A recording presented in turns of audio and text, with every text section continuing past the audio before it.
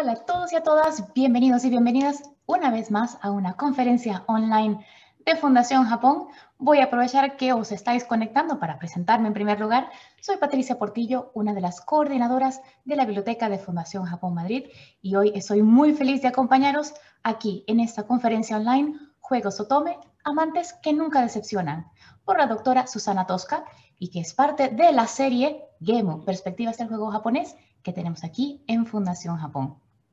Voy a aprovechar también que os estáis conectando para presentar a la Fundación, si aún eh, queda alguien que no la conozca, pues Fundación Japón es una institución oficial del gobierno japonés que busca promover el intercambio cultural y el entendimiento mutuo entre Japón y otros países del mundo. Nuestros proyectos están basados en tres ejes principales. El primero, la presentación del arte y la cultura de Japón, donde quedaría marcada esta conferencia de hoy. Luego, la difusión del idioma japonés, por lo que sí que tenemos cursos de japonés y por ahora son todos online, así que si alguien interesado puede visitar nuestra página web. Y por último, la promoción de estudios japoneses. Actualmente contamos con unas 25 oficinas en el exterior, dos de ellas en países de habla hispana. Una la encontraréis en México y la otra está aquí en España, en Madrid que por cierto, llevamos ya aquí en Madrid 10 años con todos vosotros y esperamos continuar por mucho, mucho tiempo más compartiendo la cultura de Japón con todos y con todas. Voy a aprovechar también a agradecer el apoyo que hemos recibido de Yetro Madrid y de Digra para llevar a cabo esta conferencia de hoy. Voy a recordaros también muy rápidamente cómo es la, la dinámica de la conferencia.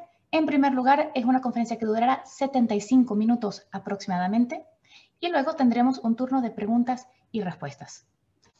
Por último, si alguien tiene curiosidad de cuáles son las actividades de Fundación Japón Madrid, pues le invito a que eche un vistazo a nuestra página web o incluso a nuestras redes sociales, ya sea nuestro perfil en Facebook, en Twitter o la red social que tenemos en la biblioteca, que es Instagram y el blog. Incluso, más recomendable aún, echar un vistazo e, y suscribiros perdón, en nuestra newsletter, donde recibiréis bimensualmente todas nuestras actividades en vuestro correo electrónico. Sin más, voy a dar paso entonces a eh, Alejandro Rodríguez, que es nuestro coordinador de actividades en Fundación Japón Madrid. Aquí lo tenéis y es el encargado de organizar esta maravillosa serie de conferencias sobre el GEMO. Así que Alejandro, si quieres decir unas palabras, son todos tuyos. Eh, muchas gracias, Patricia. Eh, buenas tardes, buenos días para aquellos de ustedes que nos estén viendo desde Latinoamérica. bienvenidos a una nueva conferencia online de Fundación Japón Madrid. Como comentaba Patricia, eh, mi nombre es eh, Alejandro Rodríguez y soy coordinador de actividades en el área de articultura del Centro de Fundación Japón en Madrid. Llegamos ya a la tercera conferencia de esta serie dedicada al Gemu o videojuego japonés que comenzamos en abril con una charla a cargo de Víctor Navarro Remesal, comisario de este ciclo. Entre las muchas ideas que se exponían en esa charla, eh, Víctor nos habló de los géneros propios del videojuego japonés y de cómo se había exportado y recibido internacionalmente. Y ese es el tema de la charla de hoy, que en concreto trata en detalle sobre los juegos otome, un subgénero eh, que se ha ido haciendo más y más popular en Occidente, también en España, eh, superando las fronteras de Japón. Eh, para tratar este tema hoy tenemos la suerte de contar con la doctora Susana Tosca, profesora titular del Departamento de Comunicación y Humanidades de la Universidad de Roskilde, en Dinamarca, e investigadora asociada a la Ritsumeikan, de, University en, Kioto y que ha investigado extensamente los juegos Otome y las comunidades eh, de jugadoras que hay repartidas por todo, por todo el mundo. Muchas gracias, Susana, por aceptar nuestra invitación a participar en esta serie de conferencias y por estar esta tarde con nosotros aquí. Yo estoy deseando escuchar. Antes de dar paso a nuestra conferenciante y quería comentar que la serie sobre Gemu regresará el miércoles 14 de julio con una charla a cargo de Laura Montero Plata, quien nos hablará sobre la relación entre animación y videojuego japonés. Les esperamos. Y sin robarles más tiempo, pues eh, quería dar las gracias por su asistencia hoy, por su atención y desearles que disfruten de la conferencia. Muchas gracias. Gracias, Alex. Yo tampoco voy a robar más tiempo. Voy a pasar a presentar muy brevemente a nuestra conferenciante, a la que llamo ya aquí a pantalla. Es la doctora Susana Tosca. Como ha dicho Alex, es profesora titular del Departamento de Comunicación y Humanidades de la Universidad de Roskilde, en Dinamarca. Investigadora, también lo ha dicho Alex, de la Ritsumeikan University en Kioto. Pero además, si alguien está buscando un poco de bibliografía, que apunte, es coautora de Transmedia Worlds in Everyday Life, de Routledge, es eh, también de Understanding Video Games y por último, de eh, autora como tal de Literatura Digital, Paradigma Hipertextual. Durante los últimos 20 años, su investigación ha combinado la estética y los media stories para investigar la recepción de medios digitales. Ha publicado también ampliamente sobre hipertexto, literatura digital, videojuegos y transmedialidad, así que estamos con la crema de la crema. Doctora Tosca, son todos suyos. Adelante. Muchísimas gracias. Qué, honor y qué, gran presentación. Muchas gracias, muy generosos. Eh, quería agradecerle a la Fundación Japón la oportunidad de estar aquí. Eh, y bueno, mm, la organización de estas charlas pues, pues es una indicación de, de que la cultura japonesa eh, se va expandiendo y, vamos encontrando cada vez más interés, tanto en los estudiantes como, como en el público en general. Y bueno, en concreto desde, desde, el estudio de los medios de comunicación, que es mi área, pues, pues me encanta ¿no? que los videojuegos de pronto también sean, sean objeto de interés. Así que sin, sin más demora voy a, voy, a dar, voy a dar inicio a la conferencia. Lo único comentaros, estoy aquí en, Dinamarca, eh, veo que hay gente, hay gente conectada desde muchas, desde muchas partes del mundo.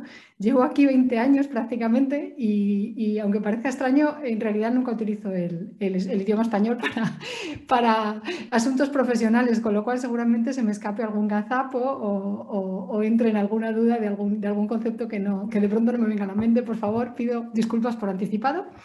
Y sin más, pues voy a, voy a intentar eh, compartir pantalla para, comenzar la, la conferencia. Em, a ver, todo bien. Yo asumo que está todo bien. Si, algo no funciona, espero que os conectéis en el micrófono porque yo no veo nada y me, aviséis. Em, bueno, la portada es muy espectacular, está robada de un, videojuego, eh, Reina de, las Flores, que creo que no está traducido a ningún idioma occidental. Em, es una portada representativa de los juegos Otome, así que quería empezar así de manera un poco espectacular. Quizá os suene también si sois aficionados a, los manga o a los anime eh, dedicados al público femenino, eh, los mangas shoujo o otro tipo de, anime. Em, los juegos Otome son, son, juegos básicamente narrativos, están emparentados un poco con, con, las novelas visuales, si alguno también lo conocéis, y con los juegos de simulación. Es un poco a caballo entre estos dos géneros, pero en realidad es un propio, es un propio género que es reconocible en, tanto en Japón como, como, en Occidente. Y se dirigen al público femenino. Eh, por eso la palabra de otome, que, significa, es una palabra un poco pasada de moda, que significa doncella ¿no? en general. Em, y, bueno, estos juegos son, eh, si os suenan también un poco las historias románticas, estas que al menos en España en mi época se llamaba novela rosa, estas historias románticas en las que un personaje femenino se encontraba eh, en una situación difícil o de aventuras o interesante y había un montón de peripecias hasta que al final pues terminaba en brazos de algún enamorado fantástico que, salía en estas novelas. ¿no? Pues es un poco el mismo género, solamente que hay un componente de juego, pero el componente literario narrativo es, muy, es muy fuerte. No esperéis que estos sean unos juegos de acción en los que haya que disparar o, o hacer grandes estrategias, porque en realidad se trata más bien de leer y de vez en cuando ir, ir, eh, eligiendo opciones, opciones narrativas. Os voy a mostrar algunos ejemplos para, para, demostrarlo. Em, y bueno, como decía, los, los, escenarios de este tipo de historias puede ser cualquier cosa.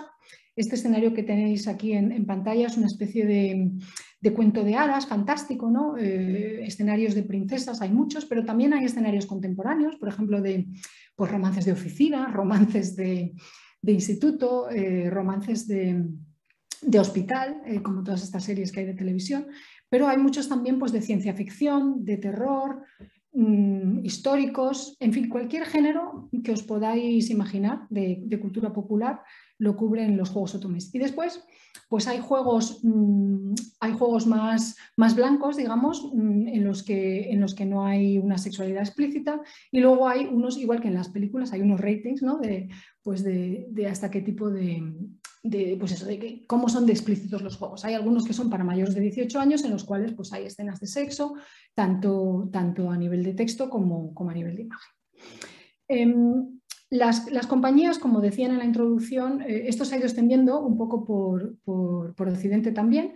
Las compañías más famosas, eh, más exitosas japonesas, no sé si os sonarán, algunas son Cyber, Voltage, de tres y otras. Algunas han localizado juegos al inglés y, bueno, pues, pues así se han dado a conocer en el extranjero. Vamos a, vamos a ir empezando. He hecho una especie de, de menú para que veáis de qué, para que veáis en todo momento en dónde estamos en la charla, porque 75 minutos son muchos minutos. Intentaré hacerlo ameno, con, con alguna pausa, eh, algún vídeo para que veáis cómo, cómo son los juegos. Y, bueno, pues cambiando, avanzando en esos temas que he preparado. Y este menú lo voy a ir sacando de vez en cuando para que sepáis por dónde vamos.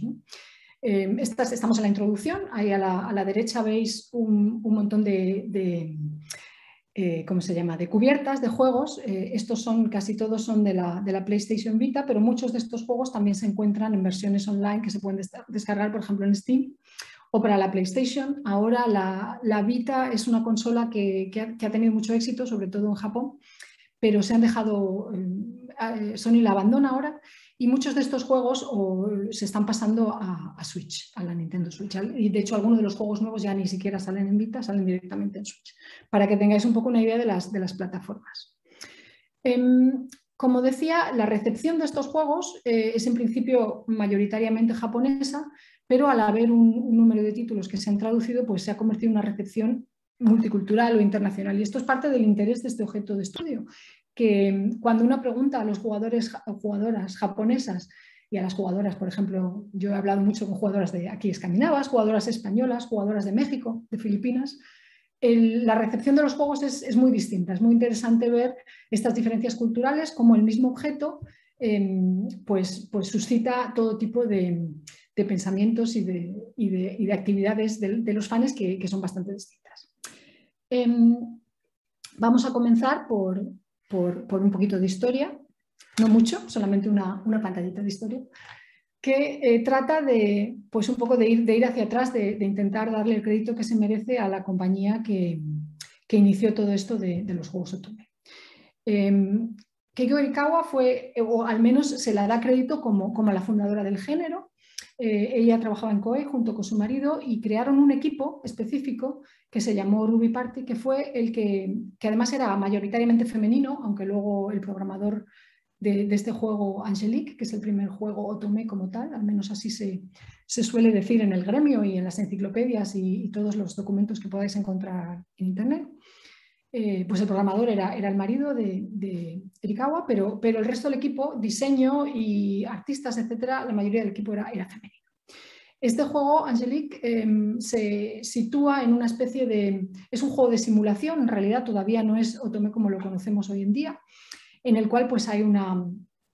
Eh, la protagonista principal, veis ahí en el centro, si sois de mi edad o incluso un poquito más jóvenes, quizá os parezca que esa chica que hay en el centro se parece a Candy Candy, gran éxito de la televisión eh, que se emitió también en España y bueno, lo que llorábamos las niñas con todos los desastres que le pasaban a Candy. De hecho, Candy es un referente explícito. Eh, el Kawa quería que, su protagonista se pareciese a Candy para enganchar con, esa, con ese enorme eh, grupo de fans que había de todo este tipo de series. ¿no? Entonces el juego es una especie de fantasía europea, de unas de un reino mágico en el cual las, reinas son elegidas, no democráticamente, pero casi, y hay dos aspirantes a reina, la protagonista y otra, y hay que superar una serie de pruebas y relacionarse con, los guardianes, eh, guardianes sagrados de, este reino, ¿no? que son todos esos, esos hombres, o eh, como se llaman en el gremio, los bachelors, los solteros, los solteros apetecibles, con los cuales una puede iniciar una, una relación. Al ser un juego de simulación,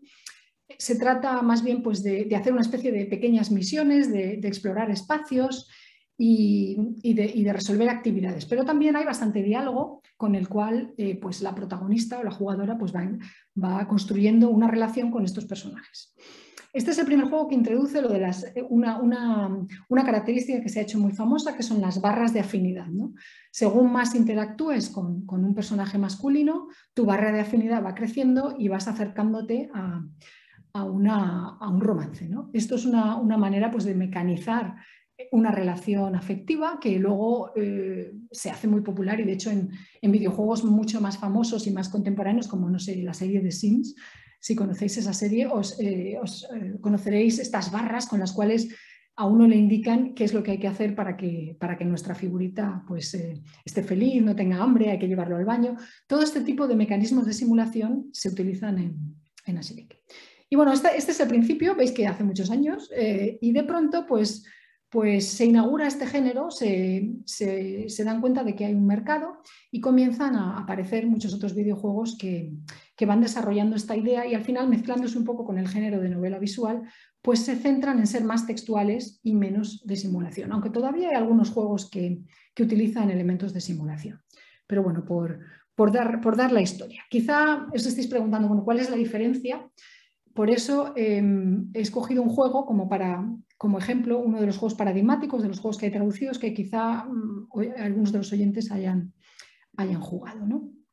Este juego, aquí está la cubierta para, para Vita, pero también lo hay creo, en, Steam. De hecho, los datos que tengo aquí a la derecha los he copiado de Steam Spy, que es, una página web hecha por fans en la cual se, van, sacando datos de, Spotify. De hecho, no, son datos completamente validados, pero dan una idea de la popularidad del juego. Por eso subrayo lo de las, descargas, para que veáis que en realidad pues, hay mucha gente que, que conoce estos juegos. El juego Amnesia, el tema es un tema conocido en en el mundo de la cultura popular japonesa. Eh, la protagonista es una chica que de pronto se despierta y ha olvidado quién es, ha olvidado qué vida tiene, no, se acuerda de nada, no se acuerda de su familia, ni de sus relaciones, ni de sus amigos, ni de su trabajo, ni de su novio, ni de nada.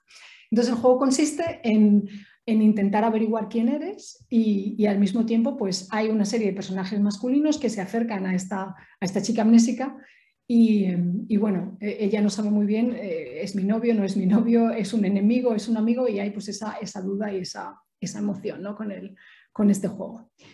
Em, lo que en realidad la entrada al juego es bastante larga, entonces en lugar de, poneros un vídeo, lo que voy a hacer es mostraros unos cuantos pantallazos y después poner un breve vídeo.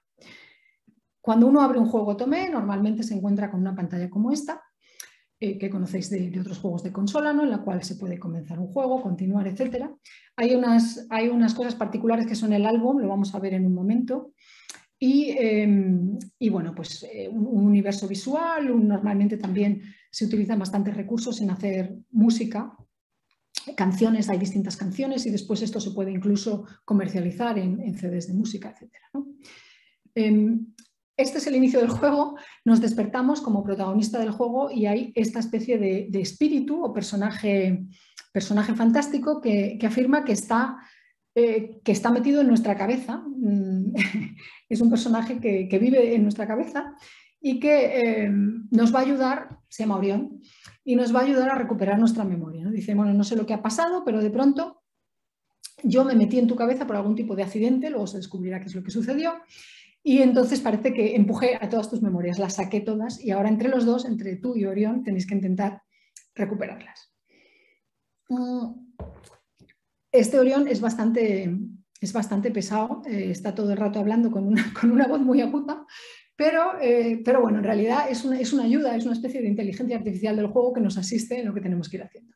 En los juegos Otome normalmente esta, esta, es la heroína, es decir, el, personaje jugador, nosotros, el personaje que juega, y normalmente em, te dejan eh, escribir un nombre eh, o, hay un nombre que está, que está ¿cómo se dice?, por, por, defecto en el juego. Puedes quedarte con el nombre que hay o puedes personalizarlo. Mucha gente le gusta personalizar el juego, poner su propio nombre, un nombre fantástico que es el que usan en todo este tipo de juegos, o puedes decidir quedarte con el, con el que hay por defecto. Em, cuando llegas, cuando, cuando este Orión te ha contado la historia de cómo has perdido las memorias, el, juego te presenta una opción que es decidir, bueno, em, ¿en qué mundo me voy a, me voy a, me voy a, navegar? ¿Qué, ¿Qué, mundo voy a explorar? Hay estos cuatro mundos que, si os dais cuenta, son un poco las cartas de los juegos de cartas. Y elegimos uno y con ese, con ese mundo que elegimos, pues vamos a conocer eh, al, al, primero de estos, de estos pretendientes. Y es un pequeño vídeo que os voy a, que os voy a mostrar para, ah, para que podáis tener la experiencia de sonido y de vídeo completa. Vamos a ver si funciona. Ah, me ga sameta. Ah, no, do, do, do, do, どうしよう。ここって病院だよね。病室だよね。こんなところでパジャマ着て寝てる君って明らかに入院患者だよねああ病院に入れられるのだけは避けようって話したばっかりなのに一体どうしてこんなことに何か今の君の情報を探れるものはないのかなッドに名札がついてる。うん君の名前は君が思い出した通りみたいだね。えー、っと他に携帯電話か身分証ってないかな。あベッドの下にカバンがあるよ。起き上がれる？いった！うんびっくりした。大丈夫？Salto un poco. おい、いつまで寝てるつもりだよ。もう10時なんだけど、寝ぼけすぎだろ、お前。え？だって入院患者だよ？寝てて当然じゃないの？この人病院の人じゃないよね？君の知り合いかな？ったく、何ぼーっとしてんだ。目、覚ましてやるよ。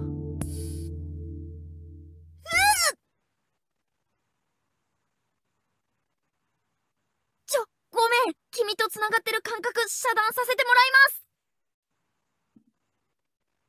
あの君大丈夫ご Pues yo también lo paré, igual que, a, igual que al Orión me dio a mí el ataque.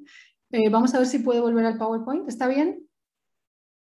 Bueno, en realidad el vídeo ilustra muchísimas cosas a las que me voy a referir durante la charla, así que al menos así habéis tenido una, una primera visión. ¿no? Primero, pues de la interfaz de este tipo de juegos, que como habéis visto hay unos fondos, de, hay unos fondos, unos escenarios fijos que no se mueven, en este caso un- una cama de hospital, y después los personajes también en, en, eh, en una especie de retratos fijos se van cambiando cada vez que habla alguien, pero de pronto cuando, cuando el diálogo llega a un cierto punto emocionante, pues se puede, se puede, mm, aparece una imagen que en la comunidad se llama un CG, un, computer generated o algo así, imagen que es una especie de, cromo, diríamos en español, un cromo que se puede coleccionar con un, con un momento, con un momento importante del juego. Es lo que en este juego veis en esta, en esta pantalla llaman las memorias. Y, eh, y al, al recorrer las distintas rutas con los distintos personajes, pues vas coleccionando todas estas memorias que son los momentos pues, más importantes del juego. Después, arriba a la izquierda, veis la barra, se parece mucho a esto que hablaba de Angelique, una barra de afección, de confianza y de, de sospecha, que va cambiando según las decisiones que toma la jugadora con respecto a estos cuatro personajes masculinos. Y luego arriba, pues eh, una de, las interfaces del juego que simula un, un teléfono móvil. Y abajo a la izquierda veis eh, el tipo de decisiones textuales a los que se enfrenta una jugadora. ¿no? De pronto, eh, este personaje Shin pregunta, ¿qué quieres beber? Eh, ¿Quieres beber algo? Y entonces hay cuatro opciones. Según lo que ella elija, en este caso, pues él va a decir, qué raro, eso no te gusta, o muy bien, ya veo que, eres, que has vuelto a, ser tú, etcétera, etcétera.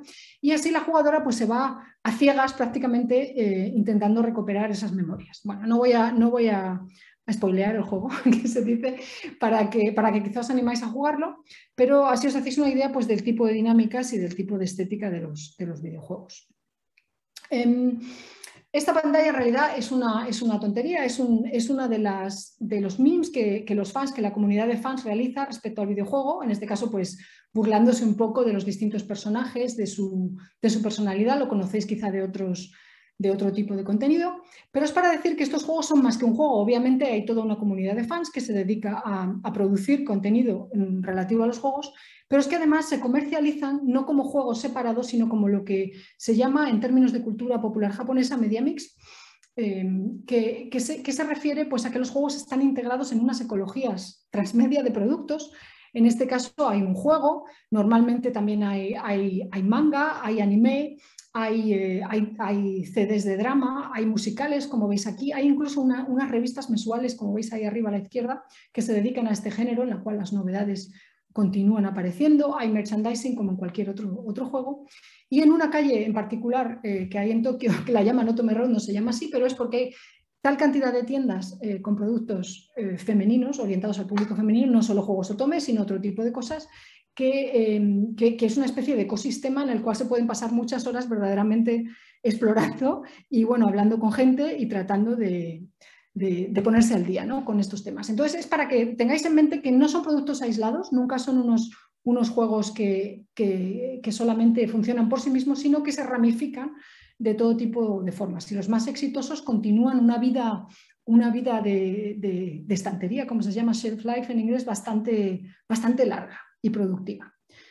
Eh, y para, dar un poco de, números, eh, para deciros, esta, esta es una, estas son unas cifras de mercado que solamente se refieren al mercado japonés es para que veáis que no son demasiados los títulos que hay. Veis ahí que para, la plataforma que más títulos se han hecho entre el 97 y el 2017 es para la PlayStation. 248 títulos no son demasiados si tenemos en cuenta que son casi 20 años. Son 20 años. Y como veis ahí, las distintas consolas pues tienen otro, otro número de títulos. No hay, no hay, por desgracia, cifras fiables de, de Occidente, pero mm, hay algunos números sobre qué juegos venden más. En este caso, estas cifras son de nuevo sobre el mercado japonés. Como veis, hay algunos juegos muy pocos que venden muchísimos ejemplares, alrededor de los 100.000, 160.000, 200.000. Eh, Tokimeki Memorial para versión femenina, eh, Hakuoki en sus varias versiones y Utano Prince-sama, que, es un juego incombustible, que continúan sacando eh, todo tipo de versiones y vendiendo un montón. Como os digo, esto que pongo a la, derecha sobre, sobre, el mundo en realidad son unas cifras sacadas de Internet y no confirmadas por las compañías, pero son eh, sobre cuántos, cuántos ejemplares se venden. Los fans, las fans normalmente están atentas a esto porque en cuanto se acaban, eh, pues, pues, pues, tienen, los juegos salen de circulación y de pronto hay un montón de gente desesperada por conseguir los juegos. Pero para que veáis, las localizaciones no son muy grandes. En cambio, en Steam sí que hay, sí que, y en, móvil, los juegos móviles, pues es un mercado de mucho más, de mucho más movimiento. Estas, estas, cifras que veis aquí son de Google Play, simplemente yo tengo un teléfono Android, pero supongo que si, veis si tenéis un iPhone podréis sacar números similares de algunos juegos Otome de, pues de, muchos, de muchas descargas. ¿no? Estos juegos, con diferencia de los anteriores, de las consolas, los juegos de consolas tú, eh, se compran como cualquier otro juego de consola, pagas el juego y después ya tienes todo el juego. En cambio, los juegos móviles es un modelo de pay-per-play en el cual el juego es gratis, pero después para ir avanzando en el juego, eh, episodios o, historias, historias, bonificaciones, etcétera, pues tienes que ir haciendo mm, pequeñas compras. Mm, en realidad es posible jugar gratis, pero entonces te penalizan con tiempo que cada día puedes leer un trozo bastante pequeño, entonces la gente, una vez que se engancha, pues acaba pagando para poder ir más deprisa en la historia. Y aquí, como veis, estamos en medio millón de, descargas, incluso más. El de abajo es, de hecho, un juego coreano y es para además decir que es el que más tenía 5 millones de descargas, muy exitoso, un juego que además eh, pues actúa en tiempo real, te manda notificaciones, hay incluso como una especie de llamas de teléfono, es muy interesante el el, mecanismo que, sigue, pero es para decir que aparte de, los juegos producidos en Japón, pues hay todo un mercado que, más emergente en Corea, en China, incluso en Estados Unidos, aunque la estética es distinta. Pero este tipo de, juegos de romance y de, novela visual pues se están extendiendo bastante. Vamos a, decir, bueno, ¿por qué estudiar Gemo en esta, en esta Otome Gemo, en esta, en esta introducción? ¿Qué hace una persona como yo estudiando esto? Eh, no sé, en realidad a lo mejor no hace falta ya, ya excusas a estas alturas, ¿no? De decir, bueno, pues los juegos para chicas también merecen ser estudiados, ¿no? En, la, en, lo que es el campo de los estudios de videojuegos, los game studies que se llaman en inglés, hay bastante, hay una bastante predominancia de juegos, de juegos masculinos, ¿no? Muchos juegos de, de acción, juegos como Counter-Strike, muchos juegos de, matar gente. En cambio, los juegos femeninos pues, pues han tenido menos, menos atención. Para mí eso, solamente eso ya es una, es una motivación. Pero luego además en el mundo de la investigación sobre juegos eh, han, comenzado a, han comenzado a haber investigadores que se, que se fijan en esto de la intimidad, de la intimidad en videojuegos. Cómo se simula la intimidad, cómo se simula el romance, qué tipo de relaciones establecemos con, los videojuegos, qué tipos de afecto, como estos dos libros que os pongo aquí, pero vamos, hay, más gente que está interesada en este campo. Em, además, en el campo de, diseño de videojuegos, pues también es un, es un, nicho bastante femenino, hay muchos equipos de desarrolladoras que son todas mujeres y por eso pues también me interesaban. Yo en realidad, si tengo que confesar, acabé entrando aquí por, culpa de mis compañeras eh, de mi clase de japonés, unas, unas chicas que también estaban estudiando japonés, mucho más jóvenes que yo, que, bueno, pues en las pausas yo les veía jugando este tipo de juegos y dije, pero ¿qué estáis jugando? Ese tipo de juegos no lo conozco. Y me contaban que, bueno, en principio no, esto es para practicar japonés, eh, porque en ese momento pues no había apenas traducciones, pero luego pues, pues acabamos llegando a la conclusión de que era bastante divertido y entré por ahí y a partir de empezar a entrevistar jugadoras tanto, tanto en Dinamarca como, como en España, pues acabé eh, solicitando proyectos de investigación, obtuve una beca para ir a Japón a hacer estudios de campo y todo empezó, la bola empezó a rodar. Y ahora pues es, un, es una bola enorme. eh, la otra cosa que quiero decir que también me motiva es un poco, eh, es, por ir un poco en contra. Cada vez que he tenido, he hecho de hecho varias entrevistas con periodistas, tanto aquí como, como en otros países, sobre, sobre estos juegos, y siempre me preguntan lo mismo. Em, el, ángulo periodístico, eh, un poco pánico mediático, siempre es, pero bueno, si las chicas se dedican ahora a jugar estos juegos, ya no les, no les interesarán los hombres de carne y hueso. Esto es un problema. Entonces siempre se me pregunta sobre las patologías, ¿no? sobre estas chicas están fatal, estas chicas no, no están preparadas para tener una relación con un hombre de verdad, mm, dan la espalda a la familia tradicional, ¿no? ahí, os pongo un, gráfico de del decline de la natalidad, en, el declive de la natalidad en, Japón. Todo este tipo de preguntas pues, me provocan bastante porque en realidad muestran primero un, miedo hacia, el, hacia el, el, campo de los videojuegos y un desconocimiento y una especie de estereotipo bastante pues bastante fuerte, que en realidad eh, es equiparable al estereotipo del, gamer masculino encerrado en su habitación comiendo pizza, incapaz de relacionarse con, nadie del otro sexo ni del, ni del propio. Esta sería la, chica sola, triste, sin, ningún tipo de, relación romántica verdadera en su vida. ¿no? Entonces, este, este, este estereotipo me provoca tanto que, que bueno, eh, pues, pues así, así comenzó la investigación. ¿no? Mi, interés era ¿quién es, esta, esta gente, quiénes son estas jugadoras. ¿Son de verdad eh, reclusas? ¿Son de verdad, eh, rechazan de verdad a, los hombres? Y bueno, es pregunta retórica, ya os voy a decir que no, pero vamos a ver un poco qué es lo que pasa. ¿no? Vale. Oh, segunda parte. Método de estudio. ¿Cómo, ¿Cómo, se estudia esto? ¿no? os voy a contar brevemente porque esto es una charla más bien de divulgación y no tanto académica, pero un poco para que veáis ¿Cómo se, cómo se puede acometer un estudio de este tipo? Em, eh, siempre en, este libro que mencionaban al principio, eh, un libro en el que trabajé con, con Lisbeth Plastrop, en nuestros estudios de, sobre medios y sobre nuevos medios, videojuegos y transmedialidad, siempre trabajamos desde esta idea de que hay que cubrir dos polos.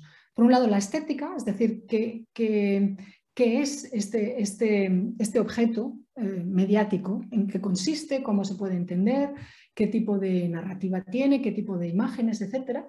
Y por otro lado, la recepción del objeto, es decir, cómo, cómo las distintas comunidades, las distintas audiencias, pues, qué hacen con el objeto, cómo lo entienden, cómo, qué significa en sus vidas, para qué, para qué juegan, por qué, todas estas cosas. Este, juego, este foco doble no es tan normal como, como, os podáis imaginar, aunque a mí me parece bastante lógico, no me parece, me parece extraño estudiar un objeto textual sin al mismo tiempo preocuparse de la gente que lo, que lo, que lo, que lo utiliza en su vida, cómo lo utilizan, y al mismo tiempo me parece también extraño preguntarle a la gente por sus, por sus hobbies sin, entender un poco cuáles son estos hobbies. ¿no? Eh, para, decir, para explicar un poco este, esta aproximación.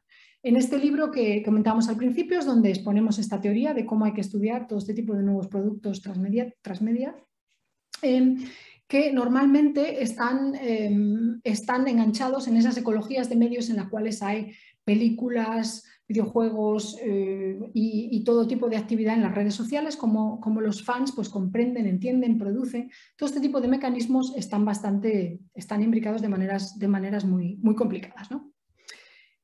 ¿Qué actividades he realizado para, para, realizar estos estudios? Por supuesto, he jugado un montón de videojuegos, eh, los he analizado desde un punto de vista narrativo y estético, estética de medios, He rastreado mucha documentación, bibliografía, estos libros que os mostraba al principio y otros, hay otros muchos también. Em, he participado en comunidades tanto online como, como offline, por ejemplo, pasando tiempo en, sitios como Otome Road, acudiendo a, conciertos, a todo tipo de convenciones y hablando con muchas, con muchas jugadoras. He hecho encuestas online, encuestas un poco eh, más cuantitativas de preguntar, bueno, qué juegos juegas, cuántos, cuánto dinero te gastas, todo ese tipo de cosas. Y después entrevistas en profundidad en las que me siento con una, con una jugadora durante una hora, dos horas y hablamos de, su hobby, de, sus, de, los juegos y de, qué, y de qué función tienen en su vida. Eh, bueno, estos estudios, estos estudios de campo que os mencionaba, eh, ahí en la foto que veis a la derecha estoy en el cuartel de los Shinsengumi, es un, es un, es un, eh, es un monumento histórico que hay en la ciudad de Kioto, porque algunos de los juegos otome más famosos pues, los protagonizan estos, estos guerreros históricos que son, que son unos samuráis de, verdad, de carne, bueno, de carne y hueso, ahora están muertos, claro. Con lo cual, eh, las jugadoras de Otome también visitan estos monumentos históricos, algunas con gran entusiasmo. Mm, hay una investigadora, Sugawa Simada, que ha escrito sobre lo que ella llama las Rekisho, las fans de la historia eh, eh, japonesa que se que han apropiado, mm, se han apropiado de estas, de estas épocas de historia japonesa y bueno, pues se dedican a visitar todos estos monumentos con gran entusiasmo. También en, la universidad, tanto aquí como en, Kioto, he hecho workshops con los estudiantes en los que ellos han diseñado videojuegos Otome, un poco para decir, bueno, pues qué, tipo, de, preferencias tienen, por qué las tienen, cuál es el juego Otome perfecto. De todas estas entrevistas, observaciones y cosas, pues sale un montón de material que es el que analizo y sobre el que, en el que me baso para, hacer pues, charlas como esta y, los libros y artículos que he escrito al respecto me voy a saltar, tenía una, explicación sobre, sobre cómo, cómo, se analizan todos estos textos, cómo se, cómo se acomete un análisis etnográfico y medio, mediático etnográfico, pero creo que, voy un poco retrasada, así que me lo, voy a saltar si alguien está interesado, si entre la audiencia hay estudiantes y gente que a lo mejor está pensando en hacer trabajos de fin de carrera, tesis eh, sobre este tipo de métodos, pues por favor mm, me mandáis un email y, hablamos después. Em, una cosa importante sobre, sobre los métodos de estudio es que, por supuesto, al, jugar todos estos juegos, pues me convierto, aunque, aunque soy investigadora, pero me convierto también un poco en una fan. ¿no? Entonces hay una, hay, hay una distancia peligrosa que se acorta en la cual si uno se entusiasma demasiado con el objeto de estudio, pues, pues eh, digamos que pierde, pierde un poco pie ¿no? como investigador. Entonces, siempre es importante reflexionar sobre cuál es mi papel en todo momento y sobre todo, además, pues ser honesta con todas estas personas que me, que me prestan su tiempo y además me cuentan cosas íntimas sobre su vida íntima, sobre su vida de pareja, eh, pues obviamente les, eh, les, les, prometo la anonimidad, nunca, nunca mencionaré su nombre, nunca daré ninguna característica por la que puedan ser localizadas. Y eh, en este caso, estas personas tengo permiso para tener sus fotos, pero por ejemplo, aquí veis unas, este es un, equipo de desarrolladoras de juegos, abajo unas cuantas de mis estudiantes de Ritsumeka, y arriba eh, es, de una, es de una convención de cultura popular japonesa de, de algunas fans de cultura japonesa. No son, no son las jugadoras de mi estudio, pero por ilustrar eh, qué tipo de fans escandinavos que están muy entregados a todo el tema de cultura popular japonesa con las que he hablado. Em, hay, una, hay, un compromiso de respetar a, todos estos informantes y de, y de, intentar reflejar su experiencia de la manera más, más fiel posible. Acabamos con el método de estudio, una especie de, de, paréntesis, ¿no? Para que, para que digáis, bueno, todas estas cosas que digo no me las invento, sino que vienen de, un, eh, un, estudio que ya va durando casi cuatro años. Em, el resto de la charla voy a, voy a sacar, yo, yo, sobre todo esto he escrito mm, distintos tipos de artículos, capítulos de libros, etcétera. Voy a sacar como una especie de, highlights, ¿no? de, puntos importantes sobre narración, sobre estética y sobre recepción y cultura fan, para que veáis todas las dimensiones de, lo que es el, universo Tomé. Pero como claro, no, no, quiero hablar más del tiempo, ya me han dado bastante tiempo, no quiero, no quiero extenderme, aunque podría, de hecho cada uno de estos temas en realidad podría, podría ser una conferencia en sí mismo, pero voy a intentar hacer una especie de, pequeños puntos de foco para que veáis los, los, tipos, los focos de interés. ¿no? Vamos a empezar con la narración. ¿Qué tipo de narraciones son? ¿Qué tipo de historias?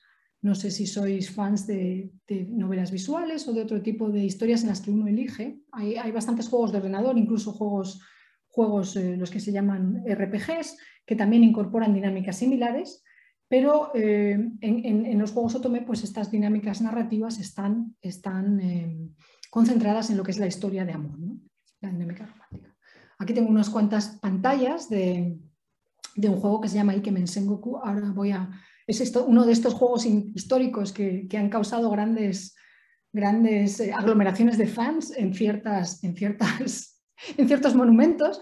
Ese, ese, hombre que se ve ahí a la, izquierda es Oda Nobunaga. Eh, si, si, metéis su nombre en Google veréis que, lo que es las pinturas que existen sobre él no se parecen nada a este, a este Ikemen.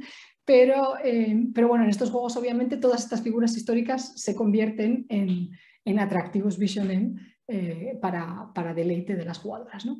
Em, el juego, este, en, estos juegos otomes, como ya os habéis supuesto, en realidad consiste en leer, es una narración, la narración es el juego y de vez en cuando pues hay que elegir algo. Em, normalmente cuando eliges no sabes cuál es la consecuencia de la acción, de lo que estás eligiendo. Puede ser, mm, puede, puede mejorar tu relación con el, con el atractivo soltero con el que estás hablando, puede empeorarla o puede lanzarte en otra dirección.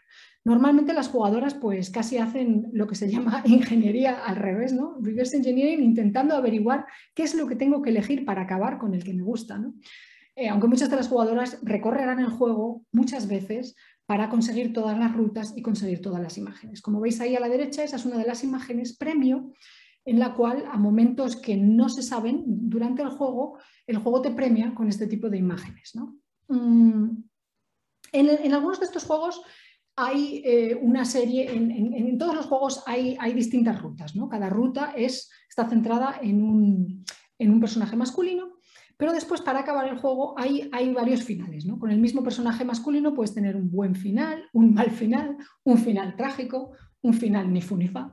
Hay todo tipo de opciones eh, que hacen que, claro, la gente en, los foros imaginados de Internet está muy activa, dándose consejos unos a otros, incluso haciendo walkthroughs de los juegos que tienes que elegir exactamente para conseguir el buen final con Oda Nobunaga o con cualquier otro. Eh, así funcionan estos juegos. Es decir, la, la divergencia narrativa, una vez que tú empiezas el juego, es elegir a este personaje. En muchos juegos esta elección es explícita, en otros no lo es. Tú empiezas el juego y de pronto te das cuenta de que el juego te está acercando a uno de ellos por, motivos que desconoces. Pero como veis en el ejemplo de Amnesia y en este que os voy a mostrar ahora, eh, este juego, Ikemen Sengoku, en el que todos estos samuráis del siglo XV y XVI se convierten en, en atractivos Ikemen, Em, desde el principio del juego, el juego te, pide que elijas quién va a ser tu pretendiente, Y una vez así te, lanza por una de estas rutas. Em, voy a mostrar también un breve vídeo de este juego porque este es uno de los juegos móviles, para que veáis que la experiencia de la estética es muy distinta del que mostraba antes, aunque el principio, eh, digamos, la, teoría narrativa detrás del juego puede ser la misma, pero la experiencia estética es muy distinta. Entonces voy a, voy a cambiar, voy a hacerlo así.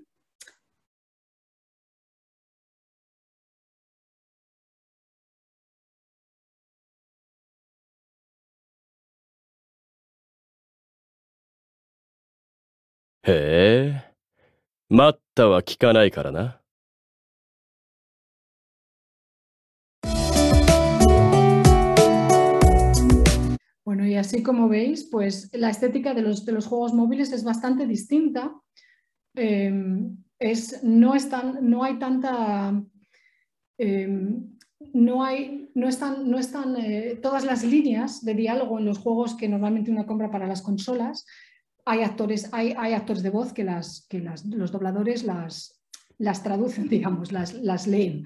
En cambio, los juegos móviles, al ser gratuitos, pues hay mucho menos presupuesto en, este, en principio y hay pocas líneas en las cuales el actor, pues, en las cuales se pueda utilizar la voz del, del autor, del actor, perdón.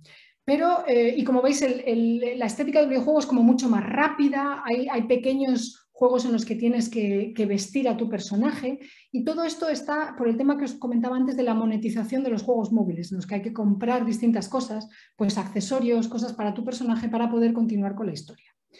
Pero em, en principio este ejemplo también es, también es interesante por el tema de los estereotipos masculinos que conoceréis también si sois fans de cultura popular japonesa por otro tipo de, medios, ¿no? como, como puede aparecer en, en manga o en anime sobre pues el yandere, el tsundere, siempre están, uno de estos tipos es el, serio pero, pero del que te puedes fiar, otro es el playboy, otro es el hermano mayor, todos estos estereotipos que conocemos eh, casi siempre están presentes, ¿no? de manera que cada jugadora puede seguir sus preferencias o, bueno, eh, como os decía, les gusta probar de todo, con lo cual se te obliga muchas veces a, a cambiar o, al menos a probar una cosa nueva, pero los juegos suelen ofrecer este tipo de, opciones ¿no? para que lo veáis. Y bueno, si, si, os pica la curiosidad, es gratuito y lo hay para, cualquier teléfono que tengáis. Aquí no, no me dan ningún, ninguna comisión, por desgracia, pero, pero este es uno de los juegos que es divertido, si queréis probar, porque es gratuito, como decía, y además la, la protagonista pues, está traducida, está bastante bien la traducción y es, eh, tiene bastante humor y, bueno, pues entra en bastante rifirrafes con estos señores feudales. Para mostraros, estamos en la narración, para mostraros un poco cómo funciona la narración, Os pongo aquí un ejemplo de, otro juego muy popular, Hakuoki, que también eh, trata de samuráis, en este caso del siglo XIX. Estamos en, la época de Bakumatsu, cuando, cuando Japón se abre a, Occidente y este grupo, de, eh, el grupo conocido como los Shinsengumi son los últimos héroes, de los últimos samuráis. El, juego es bastante trágico, no, os cuento nada, pero eh, como jugadora lo que haces es acompañar a estos, a estos héroes y bueno, pues acabas enamorada de uno de ellos. Eh, el juego funciona, si conocéis esas antiguas eh, historias de Elige tu propia aventura, los que ahí estoy declarándome, los que seáis tan viejos como yo, de hecho creo que ha habido reediciones de ellas en, sucesivas décadas, con lo cual quizá todo el mundo las conozca. Pero incluso si conocéis el concepto de hipertexto, en el cual uno va eligiendo eh, cómo se mueve la narración. En las antiguas Elige tu propia aventura aparecía, no sé, el orco y te decían, bueno, hay un orco delante de ti, ¿qué haces? ¿Lo atacas o sales corriendo? Si lo atacas, vete a la página 7, si sales corriendo, vete a la página 12. Es este tipo de lecciones. ¿no? En, los juegos, en los juegos Otome, las elecciones no suelen mandarte a la muerte, al menos no, no al principio, quizá al final, en esto de los finales buenos y malos, haya elecciones muy críticas, pero al principio de lo que se trata en realidad es de irte de irte poniendo en una ruta, de irte acercando a uno de estos, de estos solteros. ¿no? En este caso aquí veis, no sé si se puede leer, pero lo leeré en voz alta. En el primer capítulo, la, protagonista es capturada, nosotros el personaje jugador, y tenemos dos opciones para comenzar. ¿no? Puedes elegir tener, intentar escapar o la otra opción, intentar explicar mi situación. Cada una de estas opciones te lleva a un, a un, desenlace. ¿no? En la primera dice me quedé donde estaba, en la segunda salí corriendo, en la tercera decido contarles por qué he venido a Kioto, en la cuarta decido contarles que no soy un chico, estás disfrazada de chico, y en la quinta mm, eh, abandono. ¿no? Entonces, en realidad, todas estas opciones te llevan al mismo sitio. Si veis, es un cuello de botella que te lleva al siguiente episodio. Pero los colores que veis ahí indican a cuál de los, de los solteros te acercas más. Eh, si, te quedas donde estabas, intentas escapar, pero te quedas paralizada, esto te, acerca más a, Okita. Si huyes eh, y muestras un montón de, fuerza de voluntad, esto te acerca más a Hijikata. Si decides contarles la verdad de por qué has venido a Kioto, esto te acerca más a, Saito, que es el personaje que, aprecia la, verdad y la, sinceridad, etc. Entonces, a lo largo del juego, todas estas elecciones, digamos que hacen que tu carácter, tú vas eligiendo tus rasgos de, carácter de esta manera y te vas acercando más a uno de ellos. Las acciones principales no cambian, lo que es el, desarrollo de la historia siempre va a ser el mismo, pero eh, según tus elecciones pues vas a acabar con uno o con otro. Como veis, esto es una, es, una manera muy distinta de, elegir una historia. Si habéis, por ejemplo, visto esta película interactiva que ha hecho Netflix, ¿cómo se llama? Bandersnatch. En esta película se trata de elegir el mejor camino, de encontrar el camino por el que la historia va, a ser la mejor. En este caso, casi da igual lo que hagas, siempre vas a tener un buen camino, pero se trata de experimentar y de repetir y de volver a, y de volver a experimentar. Entonces, em, es otro tipo de, elección, no es un camino el, único preferido, sino decir que, eh, qué camino, qué camino quiero, quiero escoger. Otro ejemplo es de otro juego eh, que se llama Non, 9. Esos, esos, em, esas nubes que veis ahí son, eh, son puntos del, del plot, ¿no? Son, son puntos que siempre van a suceder. Primero la protagonista tiene un blackout, después hay una nave espacial, después hay un viaje en el cual se, descubre quiénes son los espes, después hay que trabajar en grupos y luego hay un ataque a la nave espacial. Pero según la ruta, según el personaje que tú elijas, pues vas a recorrer este tipo de, elementos importantes de la trama de distinta manera. En unos vas a averiguar más cosas que en otros y al final, de hecho, en este juego necesitas jugarlos todos porque no, no se revelan todos los misterios y todos los secretos de este argumento a no ser que pases por todos los puntos. Entonces, esta es otra de las técnicas que también se utiliza mucho en las novelas visuales. Pues decir, puedes completarla con un primer pase, pero siempre te quedan dudas. Hay, motivos que no se entienden, aventuras que se solucionaron sin que tú sepas por qué. Si vuelves a reiniciar eh, con otro personaje o, eh, digamos, enamorándote de otro, siguiendo otra ruta, descubres otra, otra parte de la, de la acción. Y esta es, una técnica, pues, que ya os digo, es bastante, es bastante utilizada, eh, con la cual se aseguran de que los jugadores pues, juegan muchas veces, juegan todo el juego y todo el contenido se, se experimenta. Son vidas alternativas, en realidad, en todas estas historias. em, en, un, eh, artículo que escribí sobre el tema lo, comparo a las variaciones que uno, que uno hace cuando, bueno, toca el violín o música. ¿no? Tú tienes una partitura en la cual, digamos, la, base siempre es la misma, ese argumento va a ser siempre el mismo, pero según con qué, con qué ruta, según en qué ruta estés, pues lo que es la canción va a sonar de manera diferente, porque vas a, vas a descubrir cosas diferentes. No sé si es una analogía muy acertada, pero es, para, es un poco para salir de esa idea de que solo hay una ruta, de que se trata de optimizar. Se trata en realidad de tener el mayor número posible de experiencias.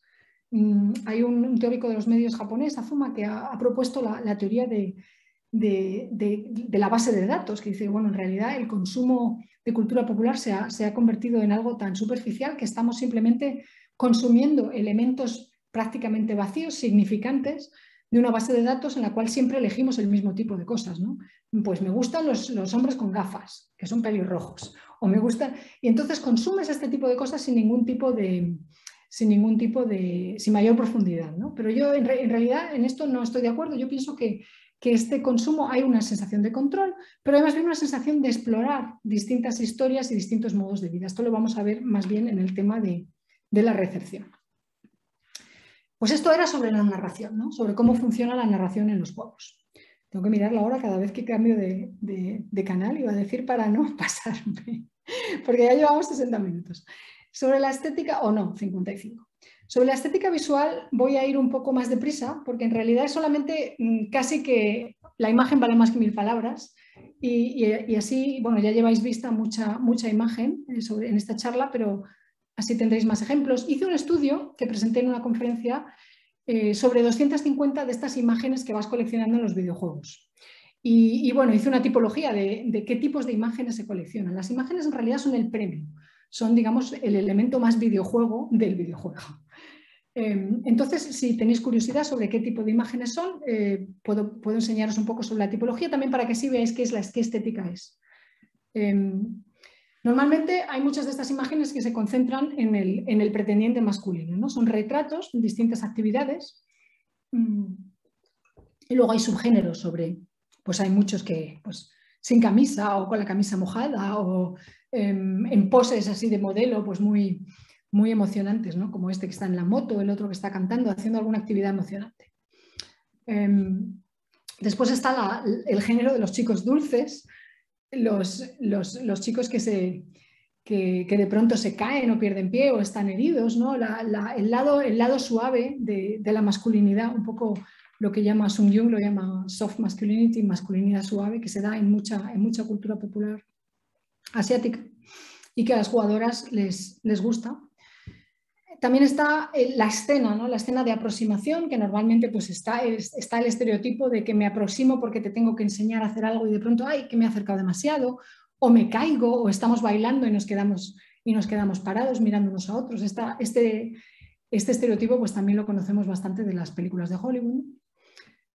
Después está la aproximación violenta. Eh, según el tipo de personaje, hay algunos personajes masculinos que son, que son más, más violentos, ¿no? más, más, más, más macho o más asertivos, como lo, como lo podamos decir, y en el cual la aproximación es pues, que te agarran por cualquier motivo, te estás peleando o de pronto te cogen o de pronto incluso te atacan si sois enemigos, al menos al principio del juego. Em, después hay, hay, algunas de estas imágenes que muestran eh, momentos de acción. La acción se narra en el texto, pero también se muestra con imágenes muy cinéticas pues de lucha, de rescates, de cabalgar, de escapadas, etc. Todo este tipo de acciones emocionantes, según el género, pues obviamente esto será pues, a caballo o en una nave espacial o corriendo o con una, con una pistola. Otro tipo de escenas que también se repiten mucho son obviamente el beso como culminación, esto lo conocemos también por las películas románticas, en, el, cual digamos que este es el momento en el cual queda claro que, que sí, que se gustan el uno al otro y que esto pues tiene futuro como historia de amor. Eh, muchas veces la heroína la pilla por sorpresa o, de pronto esto le parece demasiado embarazoso y entonces sigue una fase de Dios mío, puede ser esto cierto, hasta que ya se llega a la confirmación final, que suelen ser escenas como esta, de la nube de felicidad. Se puede acabar en boda, se puede acabar con un bebé, se puede acabar en un festival, se puede acabar simplemente juntos, de distintas formas. ¿no? Son las, este tipo de imágenes son las que más se repiten. O bueno, luego hay algunas imágenes que son otras cosas, ¿no? como fotos de grupo o, o escenas importantes por lo que sea para el argumento.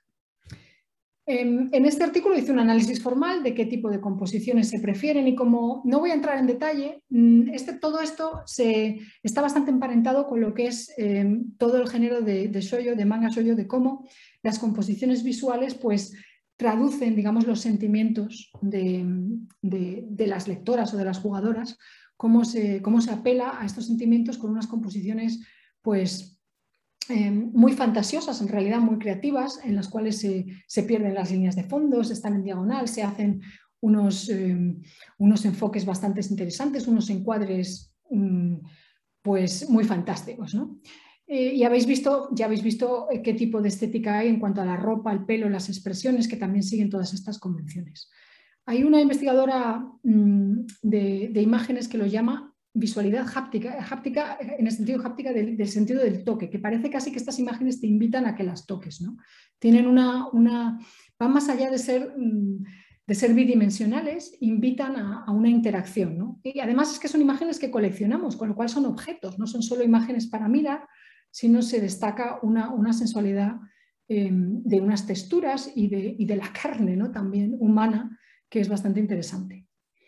Las imágenes son, son imágenes llenas de energía. Por un lado, porque son siempre culminaciones de una, de una narración, eh, son los premios en el videojuego, como decía, pero además porque son, eh, representan normalmente un momento muy importante en la narración, lo que, lo que se llama el momento más, más repleto en, la teoría, en, la teoría, en la teoría de las imágenes, ¿no? en inglés el pregnant moment, es un instante crucial que es una idea que, desarrolla Lessig, un teórico de, la imagen. Eh, y en este momento se concentra, digamos, todo lo que es importante sobre esta, sobre esta historia en una representación visual que, se, queda, que se queda en la retina. El momento, además, muchas veces este momento kinético, tanto del movimiento, del beso, del acercamiento, en el que la imagen nos invita a ser parte de esta, de esta escena. Como decía, además, pues tienen el elemento de estrategia, de que para encontrarlas todas, muchas veces en los foros de jugadoras dirán, ay, he acabado el juego y me faltan tres imágenes, ¿quién me puede ayudar a encontrarlas? Entonces se envían distintas guías para encontrar todas las imágenes. Estas imágenes, además, en mis entrevistas, pues son muy importantes para las jugadoras como, mm, como algo que, poseen eh, y, se desarrolla una especie de mirada femenina. En, teoría del cine, los que conozcáis la teoría de Mulvey sobre, sobre the male gaze, la mirada masculina, en este caso hay una especie de mirada femenina en las cuales las, las chicas en las comunidades de jugadoras verdaderamente hablan, eh, poseen y, dominan estas imágenes de todo, tipo, de todo tipo de formas bastante interesantes. Hay una parte estética que no tengo tiempo de entrar, pero que como tenéis Google la podéis, la podéis explorar vosotros, que es el universo del sonido, sobre cómo estos actores de voz, estos seiyuu, graban, graban, graban con estas cabezas en, la cual eh, van cambiando de, oreja, según si, juegas, muchas jugadoras dicen que juegan los juegos con cascos y que les parece que tienen la voz de estos actores en la cabeza. Eh, aquí se, producen eh, un montón de, objetos mediáticos con estas voces, ¿no? hay, hay de drama, hay aplicaciones con las cuales te pueden decir buenas noches estos actores antes de irte a dormir. Es un universo de sonido y en este caso también tengo una foto de uno de los musicales que hay, que ya entraré en otro, en otro momento porque merece su propia, merece su propia charla. Em, voy a pasar a la recepción, que es lo que os comentaba al principio, de que muy bien, este análisis estético, esta muestra del objeto mediático es muy interesante, pero ¿quiénes son estas mujeres que están enganchadas a esto? ¿Por qué, ¿Por qué están enganchadas a esto? De nuevo miro el tiempo y os doy un respiro. Bien, bueno, no vamos muy mal. Me dará tiempo. Em, como os decía, en un principio me provocaban los periodistas que me decían que, si estas mujeres eran, eran, unas reclusas, unas locas que no tenían, que no tenían eh, vida social. Mm, la grandísima mayoría, prácticamente por no decir el 95% de las jugadoras con las que he hablado, son personas perfectamente sociables, muchas están en parejas o incluso casadas o con pareja o viviendo con pareja o no viviendo pero pero lo que se llama dating, ¿no? Eh, otras son jóvenes, son jugadoras de pues, 16, 17, 18 años que, salen con chicos pero no, no están en pareja estable y otras pues no tienen pareja o la han tenido o no, pero hay muy pocas que verdaderamente me hayan dicho no me interesan los hombres, me siento tan herida que verdaderamente no me interesa. alguna hay, pero, pero este estereotipo de, las mujeres rechazando al género masculino no me lo he encontrado nunca.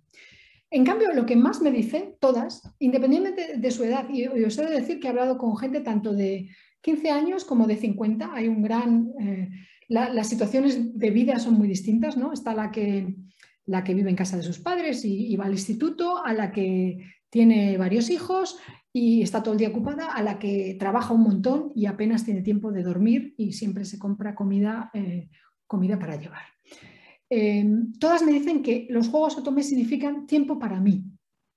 Eh, es una, la, vida, la vida diaria es, es, es demasiado, por lo que sea, y de pronto pues te, sacas un espacio que solamente para ti es un espacio completamente egoísta para salir de estas tareas y estas exigencias. En este sentido, los Juegos Otome pues tienen, eh, a mí me recordaron como, como, investigadora de medios un estudio que, muy famoso que hizo Janice Radway sobre las mujeres, las amas de casa, que leen novelas románticas, que normalmente se las ha ridiculizado y, y, se ha reído mucho la gente de ellas, pero en realidad cómo utilizan este espacio pues, para, para tener un respiro de su vida.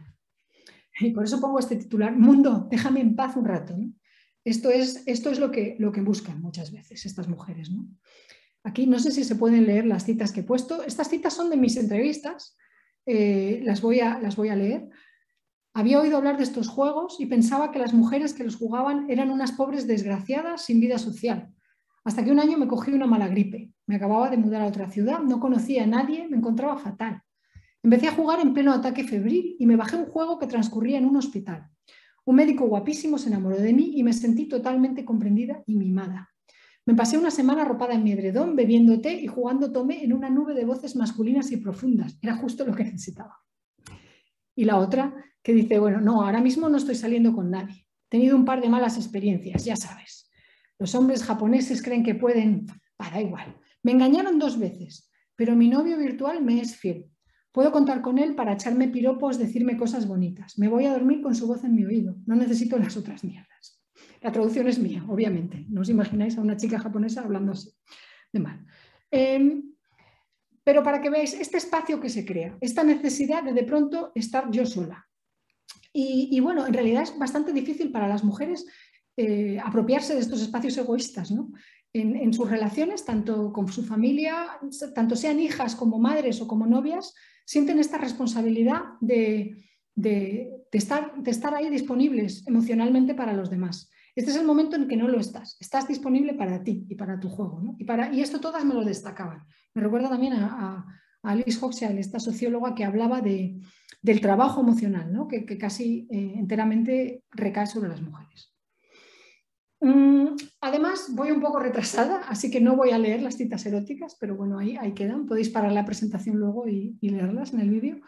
Otro, motivo es que, que en lugar de, de digamos, hacerles eh, preferir los amantes, los amantes bidimensionales, a muchas mujeres jugar los juegos Otone pues les despertaba una especie de impulso erótico con el cual, eh, con, el, que sus, parejas estaban muy satisfechas, ¿no? porque de pronto pues, pues, eh, pues tenían más ganas de sexo de lo normal o, o, les hacía fijarse en cosas que no se habían fijado. Esto también me lo, me lo, comentaban muchas y me parece interesante porque en realidad jugar juegos de ordenador no es esa cosa en la que el cuerpo desaparece y tú estás solo con tu intelecto. El cuerpo es parte de estos juegos de una manera bastante literal. También porque muchas juegan, intentan jugar en un contexto bastante íntimo, o en la cama o en el tren, pero con los cascos eh, siempre en, en, esas, creando ese espacio solitario. ¿no? Pero mm, también mayoritariamente se trata de esas vidas alternativas. Eh, como dice esta primera cita, me encanta la experiencia de entrar en una habitación y de pronto ocho tíos buenos se enamoran de mí en el sitio y no sé cuál elegir, como si me fuera a pasar algo así en la vida real.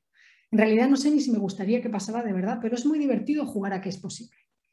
Las jugadoras prueban distintos tipos de, hombres, eh, las desesperan, otros las divierten, pero es divertido.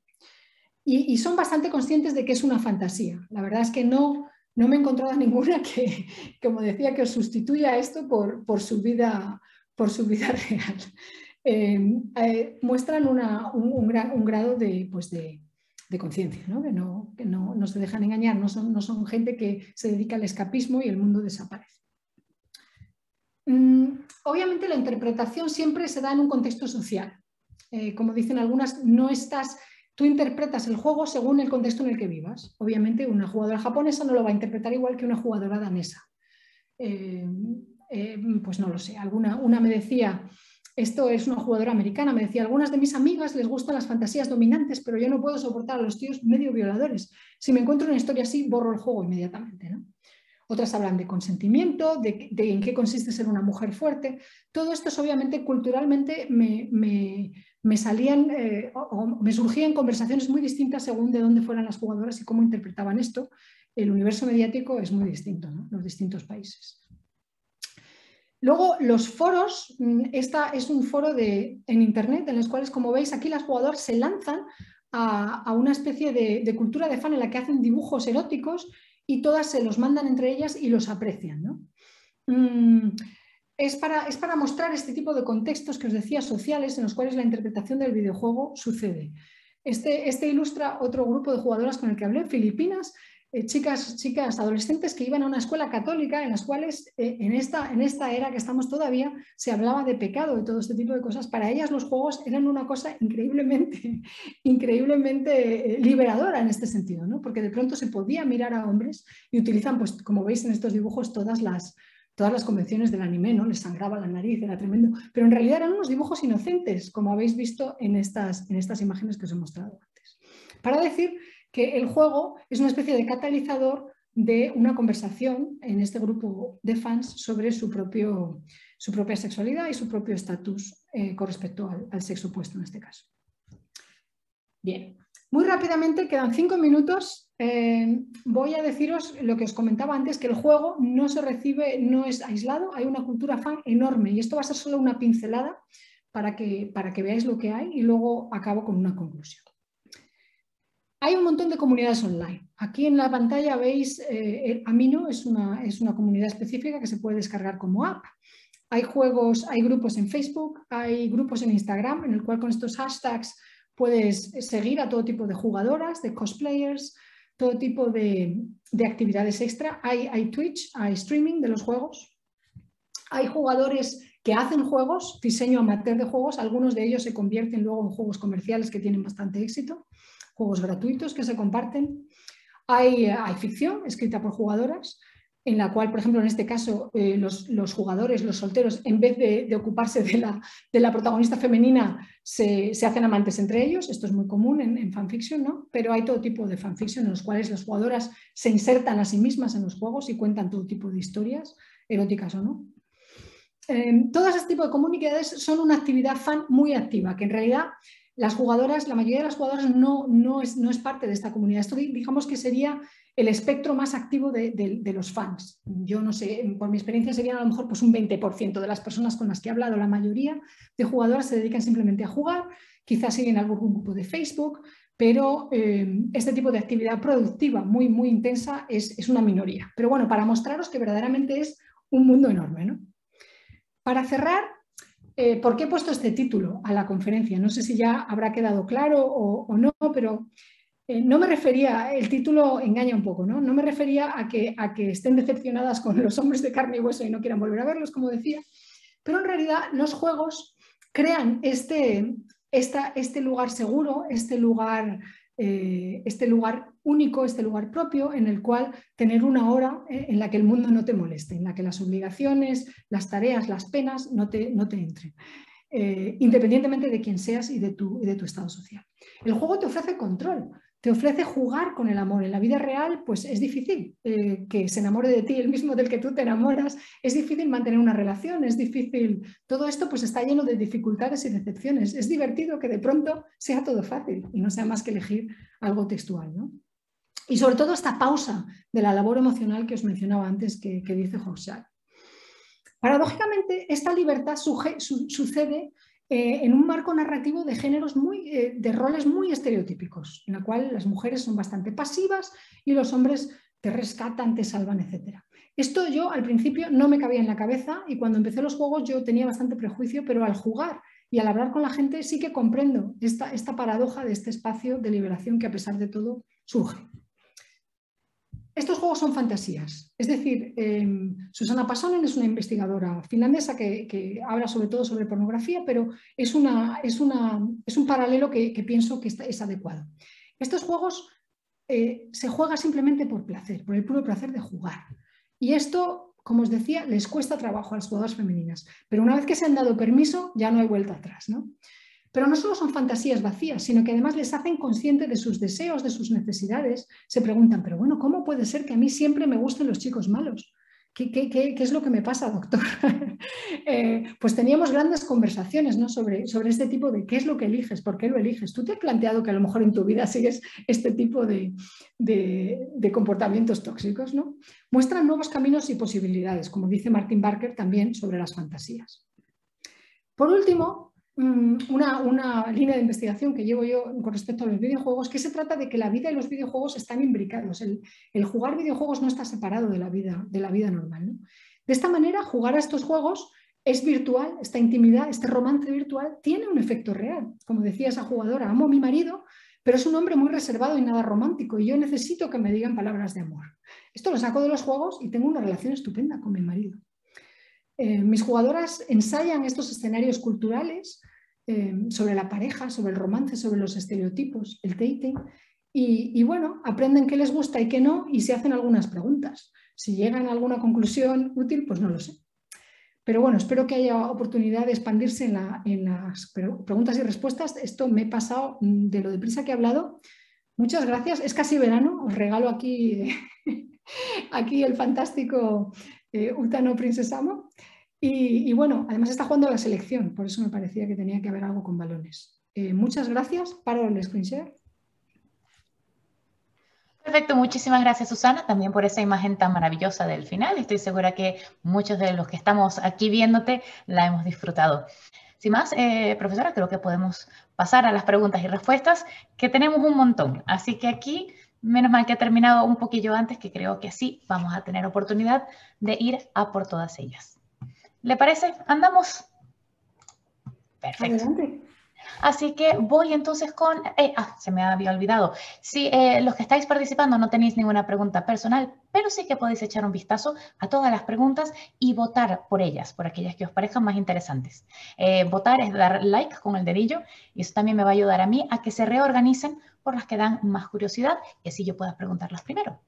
Y dicho esto, eh, Elena Rodríguez se ha llevado a la votación. Queda en primer lugar su pregunta, que dice, ¿podría decirse que el salto al mercado internacional ha influenciado en la personalidad de las heroínas, antes un poco más acordes a los gustos de las japonesas y su cultura? Bueno, la verdad es que los juegos, eh, los juegos que están traducidos a inglés están traducidos, están localizados, es decir, los juegos están hechos para el mercado japonés y bueno, únicamente algunos se traducen. ¿no? Entonces, en principio, mm, eh, en principio pienso que todavía se siguen orientando más bien al mercado japonés, aunque alguna de las grandes compañías como Voltage y Cyber que los están traduciendo eh, puede incorporar esto en el, en el, proceso de diseño. ¿no? Pero, pero en principio pienso que no, pienso que están, de hecho, eh, no sé si lo he mencionado, como he hablado tan deprisa, se me ha pasado, pero parte de mi investigación ha consistido también en hablar con equipos de desarrolladores y desarrolladoras, sobre todo de videojuegos, y en realidad, em, en realidad son, se, dirigen mayormente al público japonés. ¿no? Algunas, de hecho, siempre me dicen, bueno, es que no me puedo creer que, en Occidente mm, les guste mi historia. Eh, o sea, les, les, parece, les encanta, ¿no? Les, les parece, les parece un, un, regalo añadido, pero, pero no, no, es parte de, no es parte del plan, ¿no? Así como tal.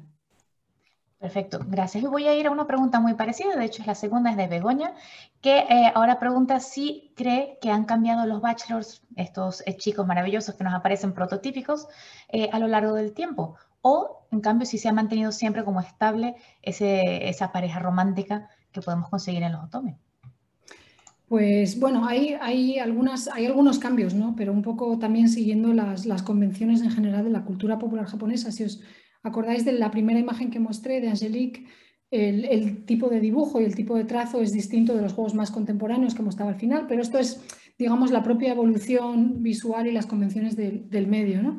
Y en cuanto a las, personalidades, yo creo que mm, se ha ido diversificando más. Eh, en un principio eran todos los juegos iniciales eran mucho más estilo princesas, con, las, con estas personalidades pues, más típicas del hermano mayor, el que trabaja todo el rato y no tiene tiempo para ti, el playboy. Pero ahora pues, hay algunas personalidades más gramáticas, ¿no? pues, por ejemplo, mmm, personalidades, eh, el tipo que resulta ser un traidor, el que luego resulta ser tu hermano, o unos conflictos tremendos que, que, se han ido intensificando, ¿no? Al principio quizá había menos drama, ahora hay más drama, incluso en algunos juegos pues esto se ha extendido, hay, hay, eh, eh, pues hay algunos que llegan a ser tus enemigos y tal. Pero vamos, pienso, pienso que sigue un desarrollo que es, que es en paralelo con otro tipo de medios, mm, del media mix japonés, y esto también se ve pues en, eso, en anime o en manga. Perfecto, muchísimas gracias. Voy a ir eh, a ver si, si, si puedo eh, combinar un poco de preguntas para, para, hacerlo todo.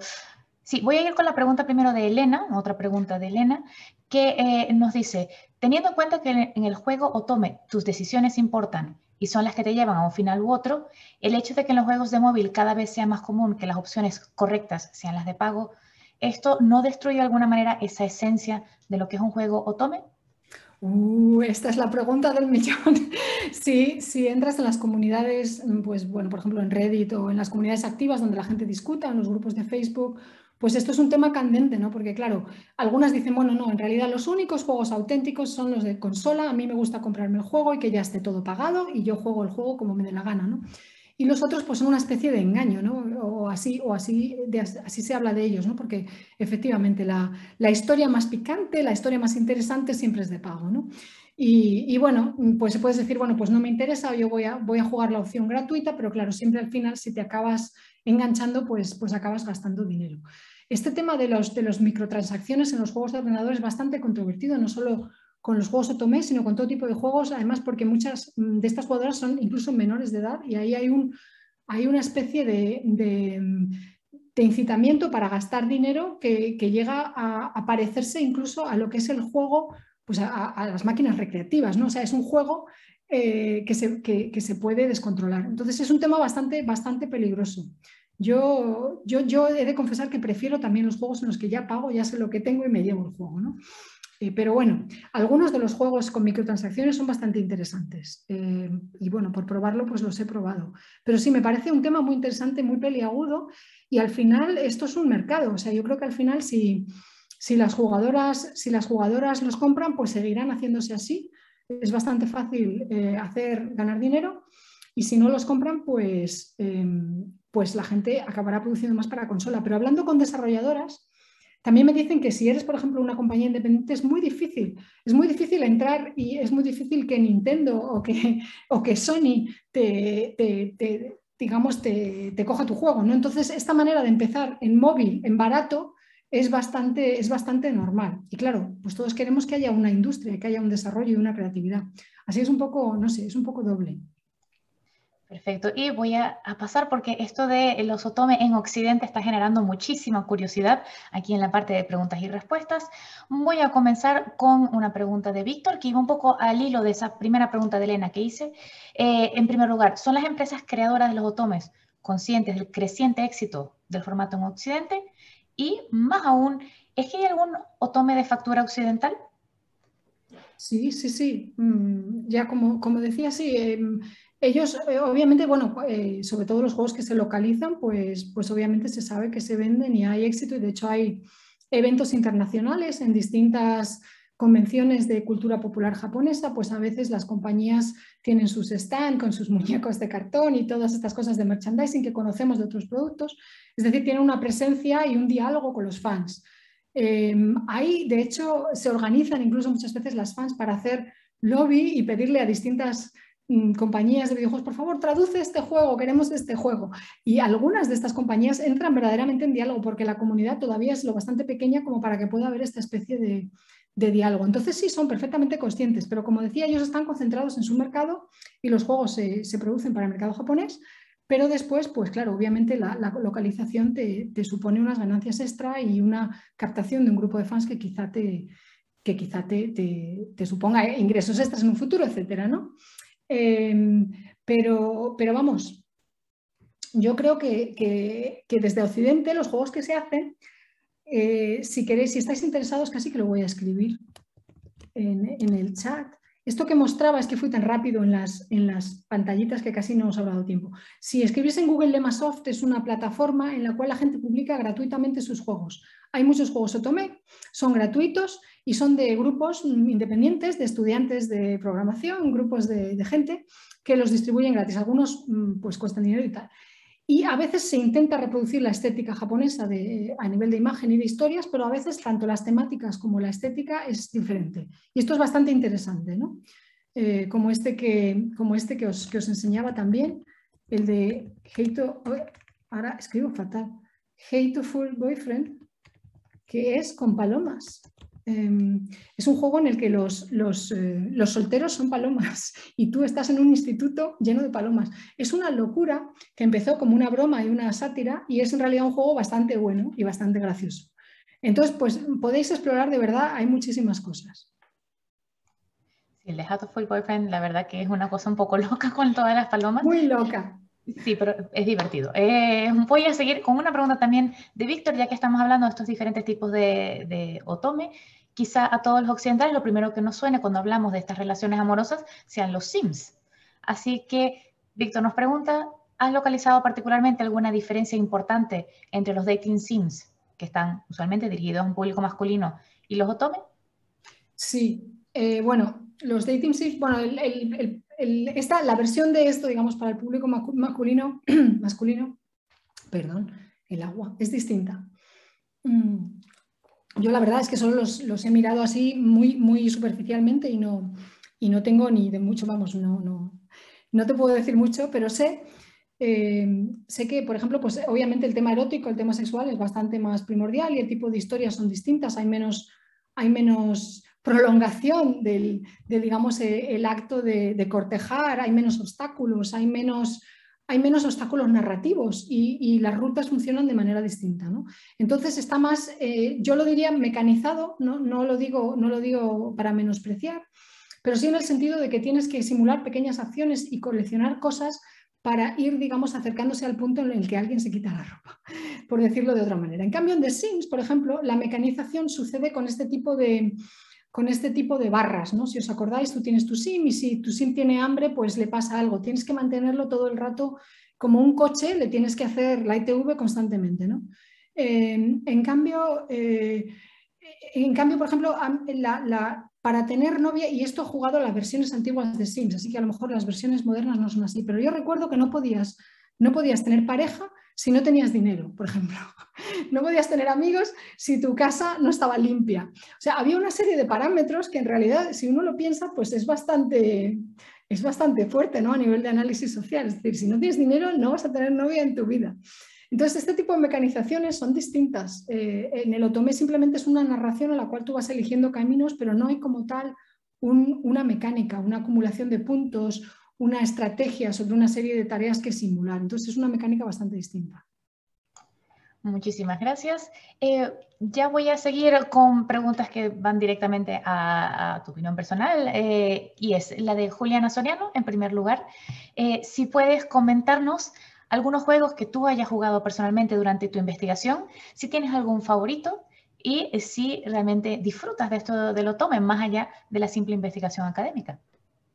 Pues sí, yo como confesaba, yo al principio entré con, como para decir a estas chicas, mira, os voy a demostrar que es que esto es una tontería. Y, bueno, al final la verdad es que me lo acabé pasando muy bien. Es verdad que se practica japonés, pero en realidad la excusa es mala porque, porque, porque para practicar japonés puedes hacer cualquier tipo de cosa, no necesitas los juegos.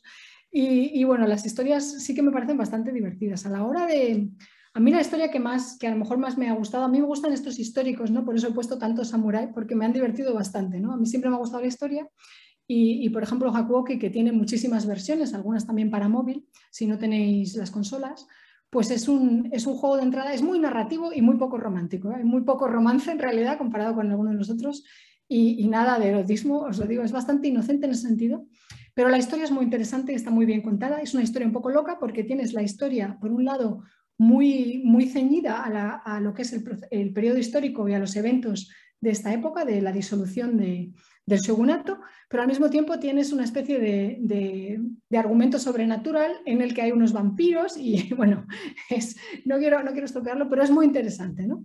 Este, este yo lo recomiendo. Además es mm, del que más material hay porque es un juego que lleva pues, 15 años vivo y en Occidente tiene muchos, muchos fans. Luego me gusta también eh, este que sé, para teléfono móvil, este que os he mostrado, pues este de Ikemen Sengoku. Esta serie de Ikemen de, de Cyber es bastante divertida. Son, eh, son, muchas veces los diálogos son divertidos, irónicos y más, más de vez en cuando se te escapa una, una carcajada, cuando los otros, los otros son más serios. ¿no? Quizá yo recomendaría estos, estos dos para, para comenzar. Últimamente, mmm, bueno, ahora con esto de, con esto de la pandemia estuve rejugando algunos para, no podía viajar, entonces viajando por Japón, por ejemplo, con eh, uno que se llama Malice, collar de la malicia para traducirlo, que es un juego policíaco que sucede en Shinjuku y Shinjuku está en cuarentena, como estábamos nosotros, y no pueden salir a ningún sitio hasta que no resolvieran el misterio. Este está muy bien, este tema policíaco y la historia es interesante y, y pasan muchas cosas, no sé, quizás sean unas recomendaciones. Lo tenemos, te habían pedido también en tu top 5 de juegos Otome, pero... Jo, ya he dicho tres, pero ahora... Habías dicho Hatoful Boyfriend, no sé si eso también entra. Bueno, Hatoful Boyfriend lo recomiendo, sí, me, lo tengo que decir porque es una risa, pero a lo mejor, a lo mejor requiere que hayas jugado primero mmm, por lo menos 5 o 6 para, para reírte de verdad, porque verdaderamente se, se hace burla de los estereotipos, pero, pero es, que, eh, es que en realidad es interesante, no es solo, no es solo irónico. Y luego quizá este juego, aunque es coreano, voy a traicionar un poco a, a, los amigos japoneses, pero Mystic Messenger es muy interesante porque tiene este elemento del tiempo real, que puede ser muy estresante. No os lo bajáis en época de exámenes o en época en la que tengáis algo que hacer, porque tienes que conectarte al juego con intervalos a lo mejor de tres horas por la noche, te llegan mensajes y si no los abres los pierdes. Eh, es un juego que tiene un componente más, eh, pues eso, un poco como la vida real, ¿no? que lo hace bastante, bastante interesante. Así que sería el 5, Mystic Messenger. Ahí lo tenemos, perfecto. Eh, también te están preguntando por bibliografía. Eh, Pepoc eh, te pregunta qué libros has usado, imagino que es en tu investigación. También te preguntan por el eh, chat, a ver si lo puedo conseguir. Em, Cristina le gustaría ahondar más en el tema de la estética, si hay alguna bibliografía que le podrías recomendar.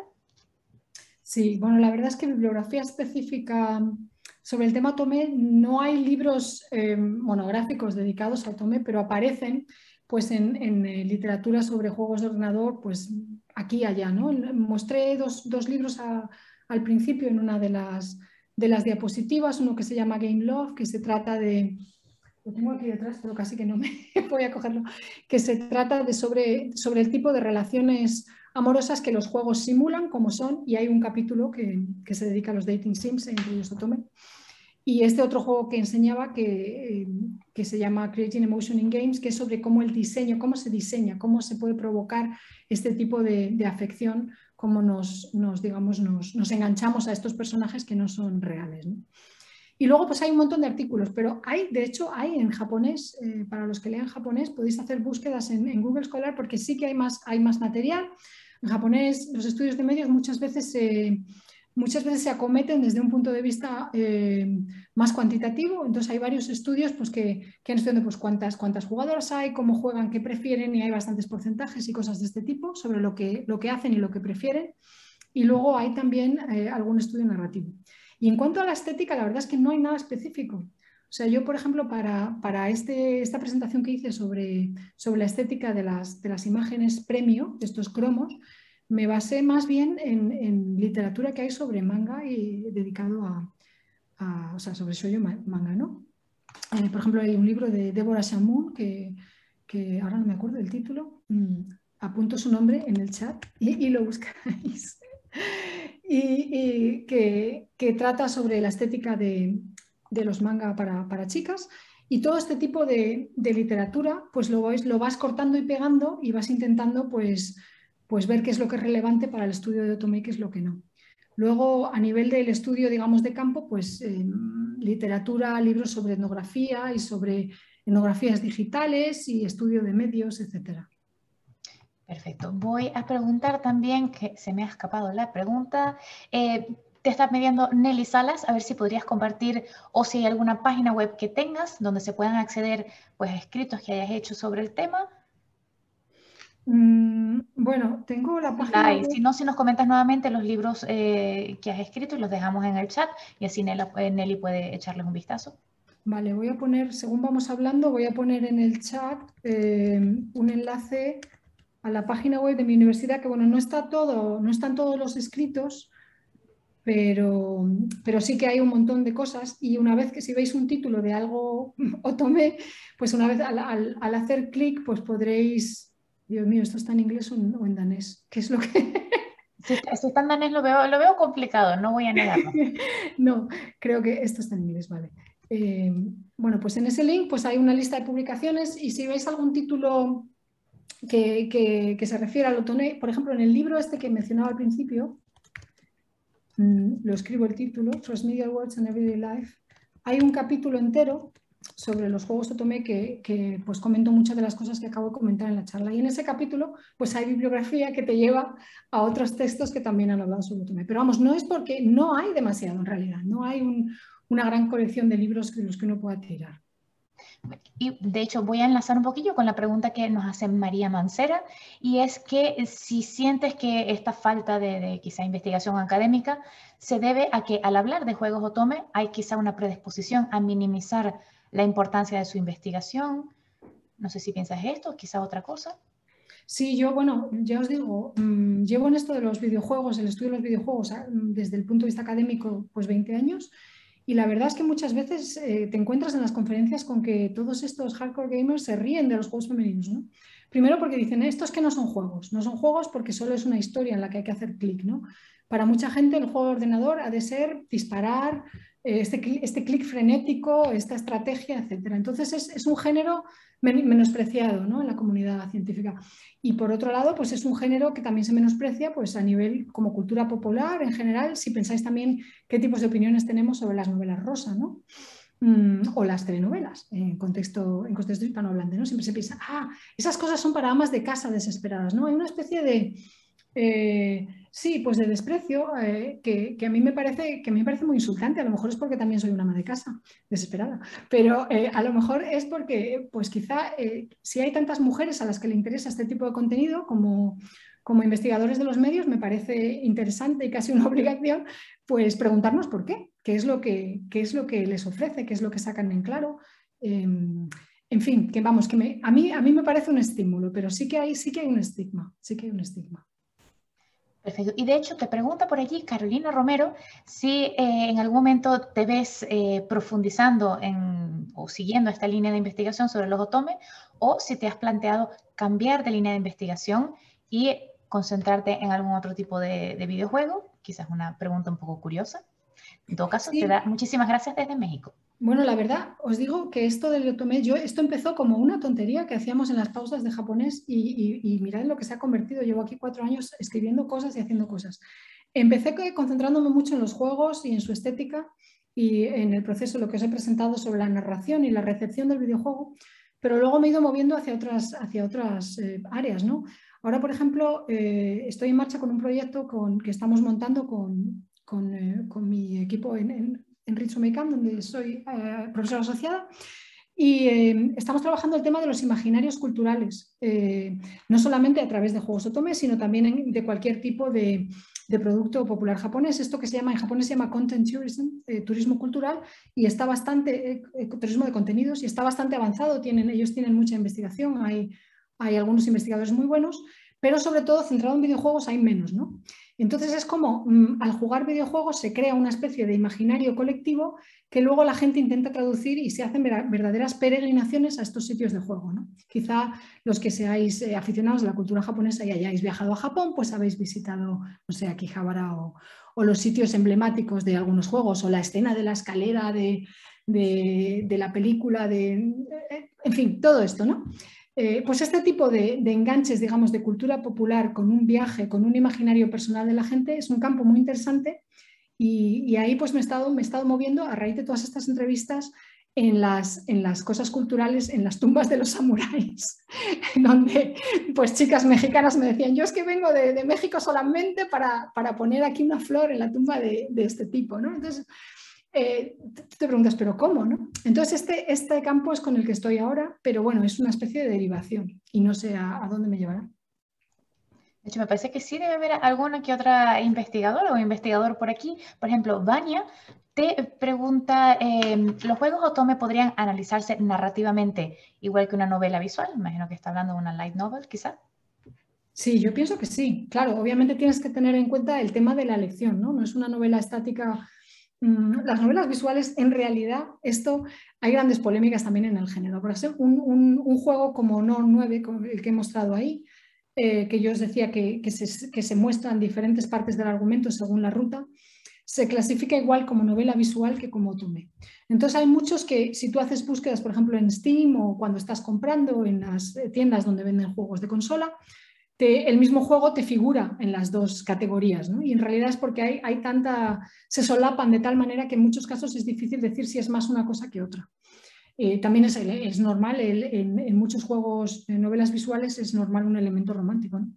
Entonces, entonces sí, yo, yo, yo diría que el análisis narrativo se puede hacer del mismo modo, eh, prestando atención efectivamente a, las elecciones y a estas bifurcaciones. No tanto, mm, bueno, si tienes mucho tiempo, a lo mejor quieres hacer un mapa completo. Muchos fans se dedican a hacer el mapa completo de, bifurcaciones de un juego, pero desde un punto de vista académico, de un análisis narrativo, quizás sería más bien hacerse la pregunta, ¿qué función cumplen estas bifurcaciones? ¿no? se trata de, efectivamente de acercarse más a un personaje que a otro, se trata de tener diferentes versiones de un, mismo evento histórico. Eh, ¿De qué se trata? ¿no? Ahí, ahí sería donde habría que profundizar, eh, profundizar, en mi opinión. Pues hay algunas ideas, si alguien necesita algún tema, pues han salido algunas. Voy a aprovechar que también el tema de eh, juegos Otome y chicos parece que está generando curiosidad por ejemplo, eh, Jenny nos pregunta que si esto del juego de Otome, ya que Otome significa chica, si cuando está dirigido a chicos cambia la nomenclatura, sigue igual, ¿esto es algo que se ha considerado?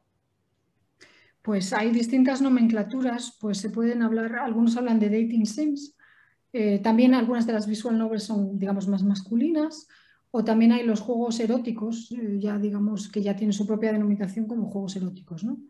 Em, pero la verdad es que si hay subgéneros en los juegos masculinos, yo, yo no los conozco. Como os digo, no, no tengo experiencia jugándolos y, no sé, pero seguramente que haya sus, sus subgéneros. Si se me ocurre, ahora hay otro subgénero que tiene más, mm, que está también surgiendo más, muchas, el género de, de, boys love, ¿no? de amor entre, entre chicos, que normalmente las fans suelen ser chicas, de hecho.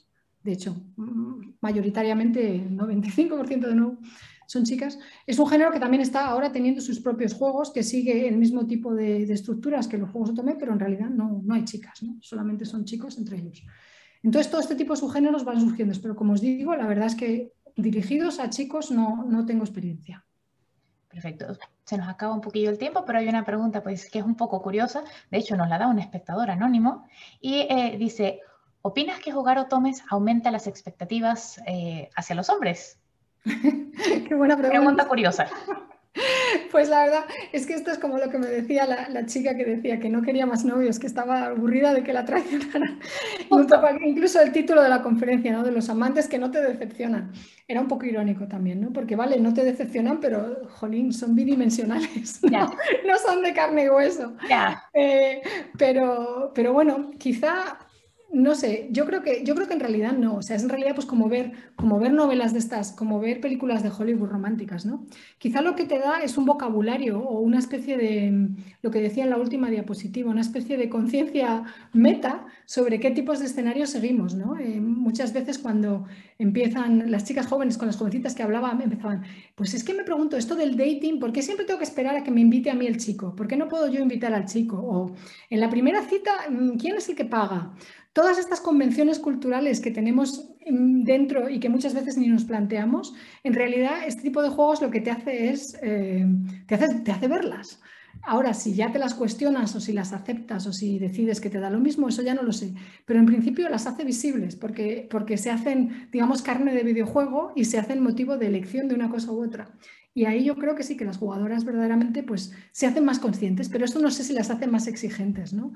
Algunas mm, confesaban avergonzadas, pues eso que es que me gustan solamente, me gustan los hombres que me tratan mal en los juegos. Y esto es, una eh, gran alarma, ¿no? Lámpara de alarma roja, pero decían luego, pero en la vida real me gustan los, los pánfilos, entonces no lo entiendo, ¿no? ¿Qué me pasa, doctor? Es lo que decía yo en la, conferencia. Es este tipo de, preguntas, pero no tanto, No, creo que, creo que no, que a nivel de expectación, de expectativas no, no, te va a cambiar mucho. Ya lo tenemos. Y mm, hay otra pregunta muy interesante de Cristina Martínez y eh, te pregunta, tras tus investigaciones, ¿qué aconsejarías a la hora de crear un videojuego Otome? ¿Qué aspectos habría de tener la persona que lo desarrolla? Ah, esto, es muy, es muy divertido. Cuando hicimos los workshops para hacer videojuegos, eh, pues eh, la cosa que todo el mundo decía, los equipos, los grupos de estudiantes que, salieron mejor parados, era la gente que obviamente había consumido muchísimos videojuegos. Es decir, tienes una experiencia como jugador que aunque sea implícitamente quizá no conoces los términos oficiales, ¿no? digamos, del, diseño de videojuegos, pues eh, tienes, tienes esa, esa literacy, ¿no? esa especie de alfabetización que te hace conocer un montón de tropos, ¿no? Sabes a ver, ¿qué tipos, de, ¿qué tipos de hombres hay? Puede haber este, este o este. ¿Qué tipo, de, ¿Qué tipo de historias se pueden contar? ¿Dónde está el obstáculo? ¿Cuál va a ser el problema? ¿Qué es lo que...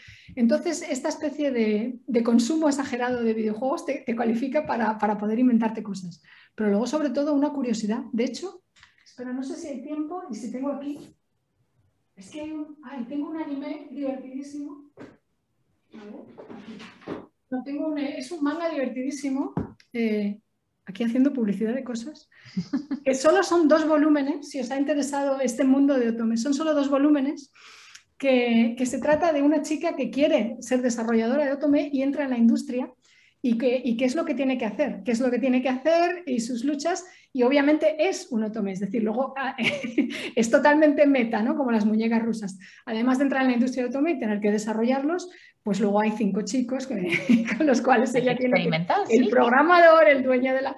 Pero es, eh, es verdaderamente ilustrativo y muy, y muy divertido. Se merece, se merece un, artículo, pero no, no, he escrito nada sobre esto. Y de hecho, eh, ya que estás hablando de los workshops que hacías, eh, te preguntan varias personas si estos talleres a los que te refieres se pueden hacer todavía, sabes en dónde se imparten, te lo preguntan desde España y desde Latinoamérica, así que... Oh, que, me hubiera gustado teneros, lo podríamos haber hecho online cuando estaba haciendo esa investigación.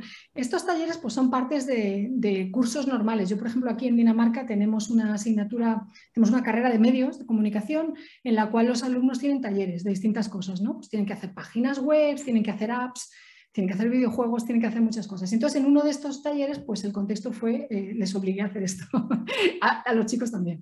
Eh, y en el caso de, de Rich pues es, una, es el colegio College of Image and Arts, que también tienen una parte práctica, y ahí fue más bien utilizar el workshop para debatir. O sea, se hizo una especie de diseño, pero en papel, no llegamos a, no llegamos a hacer el juego en, eh, programándolo, y luego se utilizó pues, para, para hablar. Pero pero en realidad es, es como parte de una actividad, digamos, de, enseñanza normal en la universidad. No hay, no hay unos workshops a los que uno pueda apuntarse, aunque estaría divertido.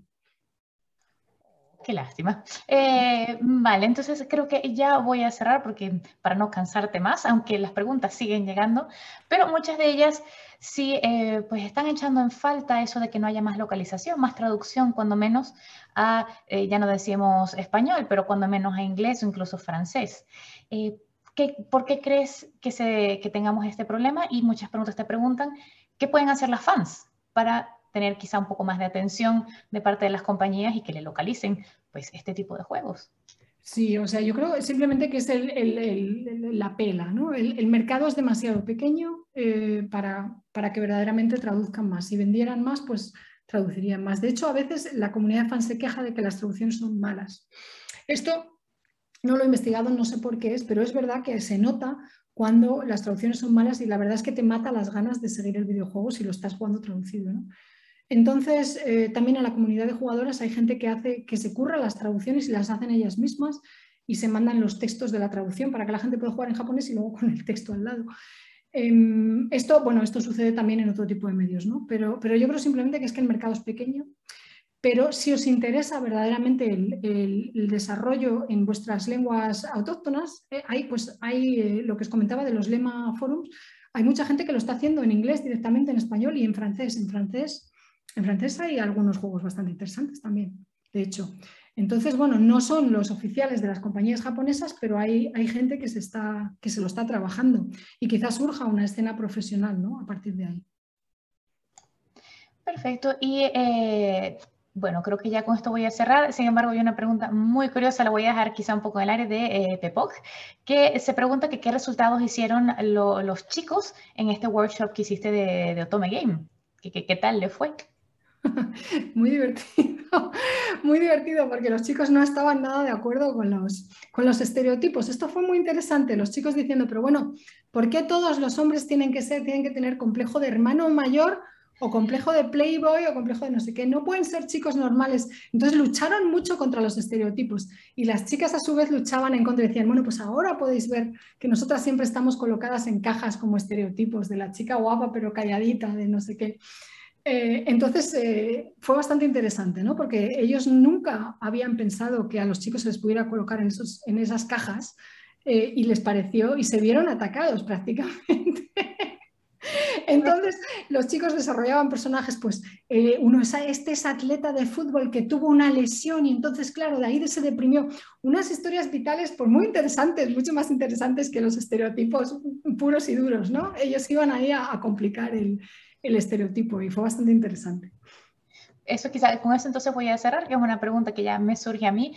Eh, ¿Se puede entonces identificar una diferencia entre los otomes producidos por, por equipos de, de, chicos, básicamente, y otomes producidos por equipos de chicas? ¿O siendo más o menos el mismo sistema de juego, pues no hay gran diferencia? Bueno, nosotros en los workshops yo siempre los mezclo precisamente para evitar y además porque incluso, claro, eh, eh, muchos chicos, por ejemplo, en, en, Japón, ellos decían que no habían jugado nunca, entonces no sabían lo que era y no podían hacer el ejercicio. Entonces tuve que poner a un chico rodeado de chicas en cada grupo porque si no, no había manera de trabajar, ¿no? Pero, pero bueno, aquí los, los, los, daneses, que ni los chicos ni las chicas, muchos conocían el género, primero les hice jugar antes de, de, hacer el juego, pero les mezclo, les mezclo, porque no sé, quizás sea un experimento que valga la pena hacer, ¿no? ¿Qué pasaría si un equipo completo de chicos tuviera que desarrollar un otome? No lo sé. Yo, yo, creo que eso valdría la pena pues revisar, a ver qué, qué sale de por allí. A ver qué creen ellos que es lo que les gusta a las chicas, ¿no? Es un poco así. Pues sí, a ver si es de verdad que le gusta, porque con la idea de, del jugador bueno, profesora, entonces la voy a dejar hasta aquí, que ya eh, pues está un poco tarde. A todos y a todas os voy a dar las gracias por habernos acompañado en esta parte de las preguntas y respuestas y sobre todo por habernos acompañado durante toda la conferencia Juegos Otome, amantes que nunca decepcionan, aquí con la doctora Susana Tosca. Yo eh, le voy a preguntar, profesora, ¿algún último mensaje para los escuchas? Simplemente muchas gracias por, por darme la oportunidad de, hablar de mi investigación y gracias por las buenas preguntas y por ser un público tan, tan entusiasta. Os voy a escribir mi, mi email en, la, en, la chat, en el chat por si queréis, alguien se ha quedado con las ganas o de pedir una referencia o algo. Eh, ahora, pensando que lo puedo hacer, no lo sé. Bueno, pues mientras ya me despido, lo pongo. No cortéis si queréis mi email. Pues allí lo tenéis entonces en el chat si lo necesitáis eh, desde todas partes, sobre todo en Latinoamérica, España no sé dónde está, pero en Latinoamérica te envía muchísimos saludos. He visto por allí México, Perú, Colombia.